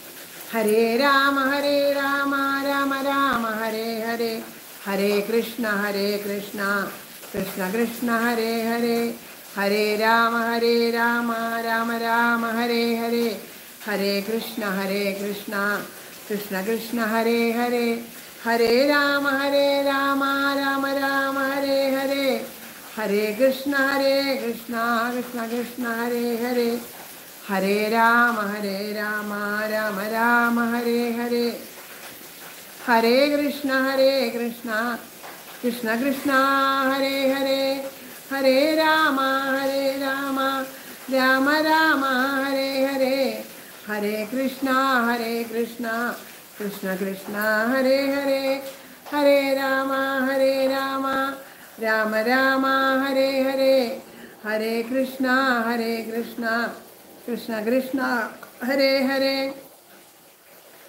ഹരേ രാമ ഹരേ രാമ രാമ രാമ ഹരേ ഹരേ ഹരേ കൃഷ്ണ ഹരേ കൃഷ്ണ കൃഷ്ണ കൃഷ്ണ ഹരേ ഹരേ ഹരേ രാമ ഹരേ രാമ രാമ രാമ ഹരേ ഹരേ ഹരേ കൃഷ്ണ ഹരേ കൃഷ്ണ കൃഷ്ണ കൃഷ്ണ ഹരേ ഹരേ ഹരേ രാമ ഹരേ രാമ രാമ രാമ ഹരേ ഹരേ ഹരേ കൃഷ്ണ ഹരേ കൃഷ്ണ കൃഷ്ണ കൃഷ്ണ ഹരേ ഹരേ ഹരേ രാമ ഹരേ രാമ രാമ രാമ ഹരേ ഹരേ ഹരേ കൃഷ്ണ ഹരേ കൃഷ്ണ കൃഷ്ണ കൃഷ്ണ ഹരേ ഹരേ ഹരേ രാമ ഹരേ രാമ രാമ രാമ ഹരേ ഹരേ ഹരേ കൃഷ്ണ ഹരേ കൃഷ്ണ കൃഷ്ണ കൃഷ്ണ ഹരേ ഹരേ ഹരേ രാമ ഹരേ രാമ രാമ രാമ ഹരേ ഹരേ ഹരേ കൃഷ്ണ ഹരേ കൃഷ്ണ കൃഷ്ണ കൃഷ്ണ ഹരേ ഹരേ ഹരേ രാമ ഹരേ രാമ രാമ രാമ ഹരേ ഹരേ ഹരേ കൃഷ്ണ ഹരേ കൃഷ്ണ കൃഷ്ണ കൃഷ്ണ ഹരേ ഹരേ ഹരേ രാമ ഹരേ രാമ രാമ രാമ ഹരേ ഹരേ ഹരേ കൃഷ്ണ ഹരേ കൃഷ്ണ കൃഷ്ണ കൃഷ്ണ ഹരേ ഹരേ സർവത്ര ഗോവിന്ദനാമ സങ്കീർത്തനം ഗോവിന്ദ ഗോവിന്ദ കൈതൊഴാം പരമേശാനി രാസമണ്ഡലവാസിനി രാസേശ്വരി നമിക്കുന്നേ. കൃഷ്ണപ്രാണാധിക പ്രിയേ പ്രസാദിക്കുക മൂലോകമാതാവേ കരുണാർണവേ. ബ്രഹ്മവിഷ്ണു ശിവാദ്യന്മാർ തൊഴും കാൽത്താരരും ശുഭേ തൊഴാം സരസ്വതി രൂപേ. തൊഴാം സാവിത്രി ശങ്കരി ഗംഗപത്മാവതി രൂപേ ഷഷ്ടിമംഗള ചണ്ഡികെ. കൈതൊഴാം തുളസി രൂപേ തൊഴാം ലക്ഷ്മി സ്വരൂപിണി. തൊഴാം ദുർഗേ ഭഗവതി കൈതൊഴാം സർവരൂപിണി. നമിക്കുന്നേം കൃപാമൂർത്തെ മൂലപ്രകൃതി രൂപിണി. ഭവക്കടലിൽ നിന്ന് തന്നെ സ്വതയം കരകയറ്റണേ. ഗോലോകനാഥയാം രാധാദേവിയെ കൈതൊഴുന്നു ഞാൻ ജയ ജയ് ശ്രീരാധേശ്യാർഹാപീഠം നടവരവപകർണയോ കർണികാരം വിഭ്രദ്വാസക്കനകവിഷം വൈ ജയന്തിഞ്ചമാലാം രന്ധ്രാൻ വേണോ രതരസുതയാ പൂരയൻ ഗോപവൃന്ദേ. വൃന്ദാരണ്യം സ്വപദരമണം പ്രാവിശദ്ഗീതകീർത്തിം. ഗോലോകനാഥയം ഗോലോകനാഥനാം രാധാകൃഷ്ണനെ. കൈതൊഴുന്നു ഞാൻ ശ്രീ ഗുരുവായൂരപ്പ പീതാംബരം കരവിരാജിത ശംഖചക്രകൗമോദകീ സരസിജം കരുണാസമുദ്രം. രാധാസഹായമതിസുന്ദരമന്ദഹാസം പാതാരയേശമനിശം ഹൃദി ഭാവയാമി. ശ്രീ ഗുരുവായൂരപ്പ നാരായണാഖില ഗുരോ ഭഗവൻ നമസ്തേ. ജയ ജയ് ശ്രീരാധേശ്യാം നാരായണ നാരായണ നാരായണ. എല്ലാവരുടെയും പാദത്തിൽ വീണ്ടും വീണ്ടും നമസ്കരിച്ചുകൊണ്ട് ഈ എല്ലാ അക്ഷരപ്പൂക്കളും ശ്രീ ഗുരുവായൂരപ്പനെ പ്രേമപുഷ്പാഞ്ജലിയായിട്ട് സമർപ്പിക്കുന്നു. കുഞ്ഞൊരു വനമാല നാമമാല കോർക്കാനേന്ന് സമയം അനുവദിച്ചുള്ളൂ. ഗുരുവായൂരപ്പ സംസ്ഥാപരാധം പൊറുക്കണേ എന്ന് പ്രാർത്ഥിച്ചുകൊണ്ട് ആ വനമാല ഗുരുവായൂരപ്പന്റെ പദത്തിൽ സമർപ്പിച്ചുകൊണ്ട് എല്ലാവർക്കും എല്ലാ നന്മകളും ഉണ്ടാവട്ടെ എന്ന് പ്രാർത്ഥിച്ചുകൊണ്ട് എല്ലാവർക്കും ധാരാളം നാമം ജപിക്കാൻ സാധിക്കണേ എന്ന് പ്രാർത്ഥിച്ചുകൊണ്ട് ഈ വാക്കുകൾ ശ്രീ ഗുരുവായൂരപ്പന്റെ പാദത്തിൽ പ്രേമപുഷ്പാഞ്ജലിയായിട്ട് സമർപ്പിക്കുന്നു. രാധേ രാധേ രാധേ രാധേ രാധേ രാധേ രാധേ.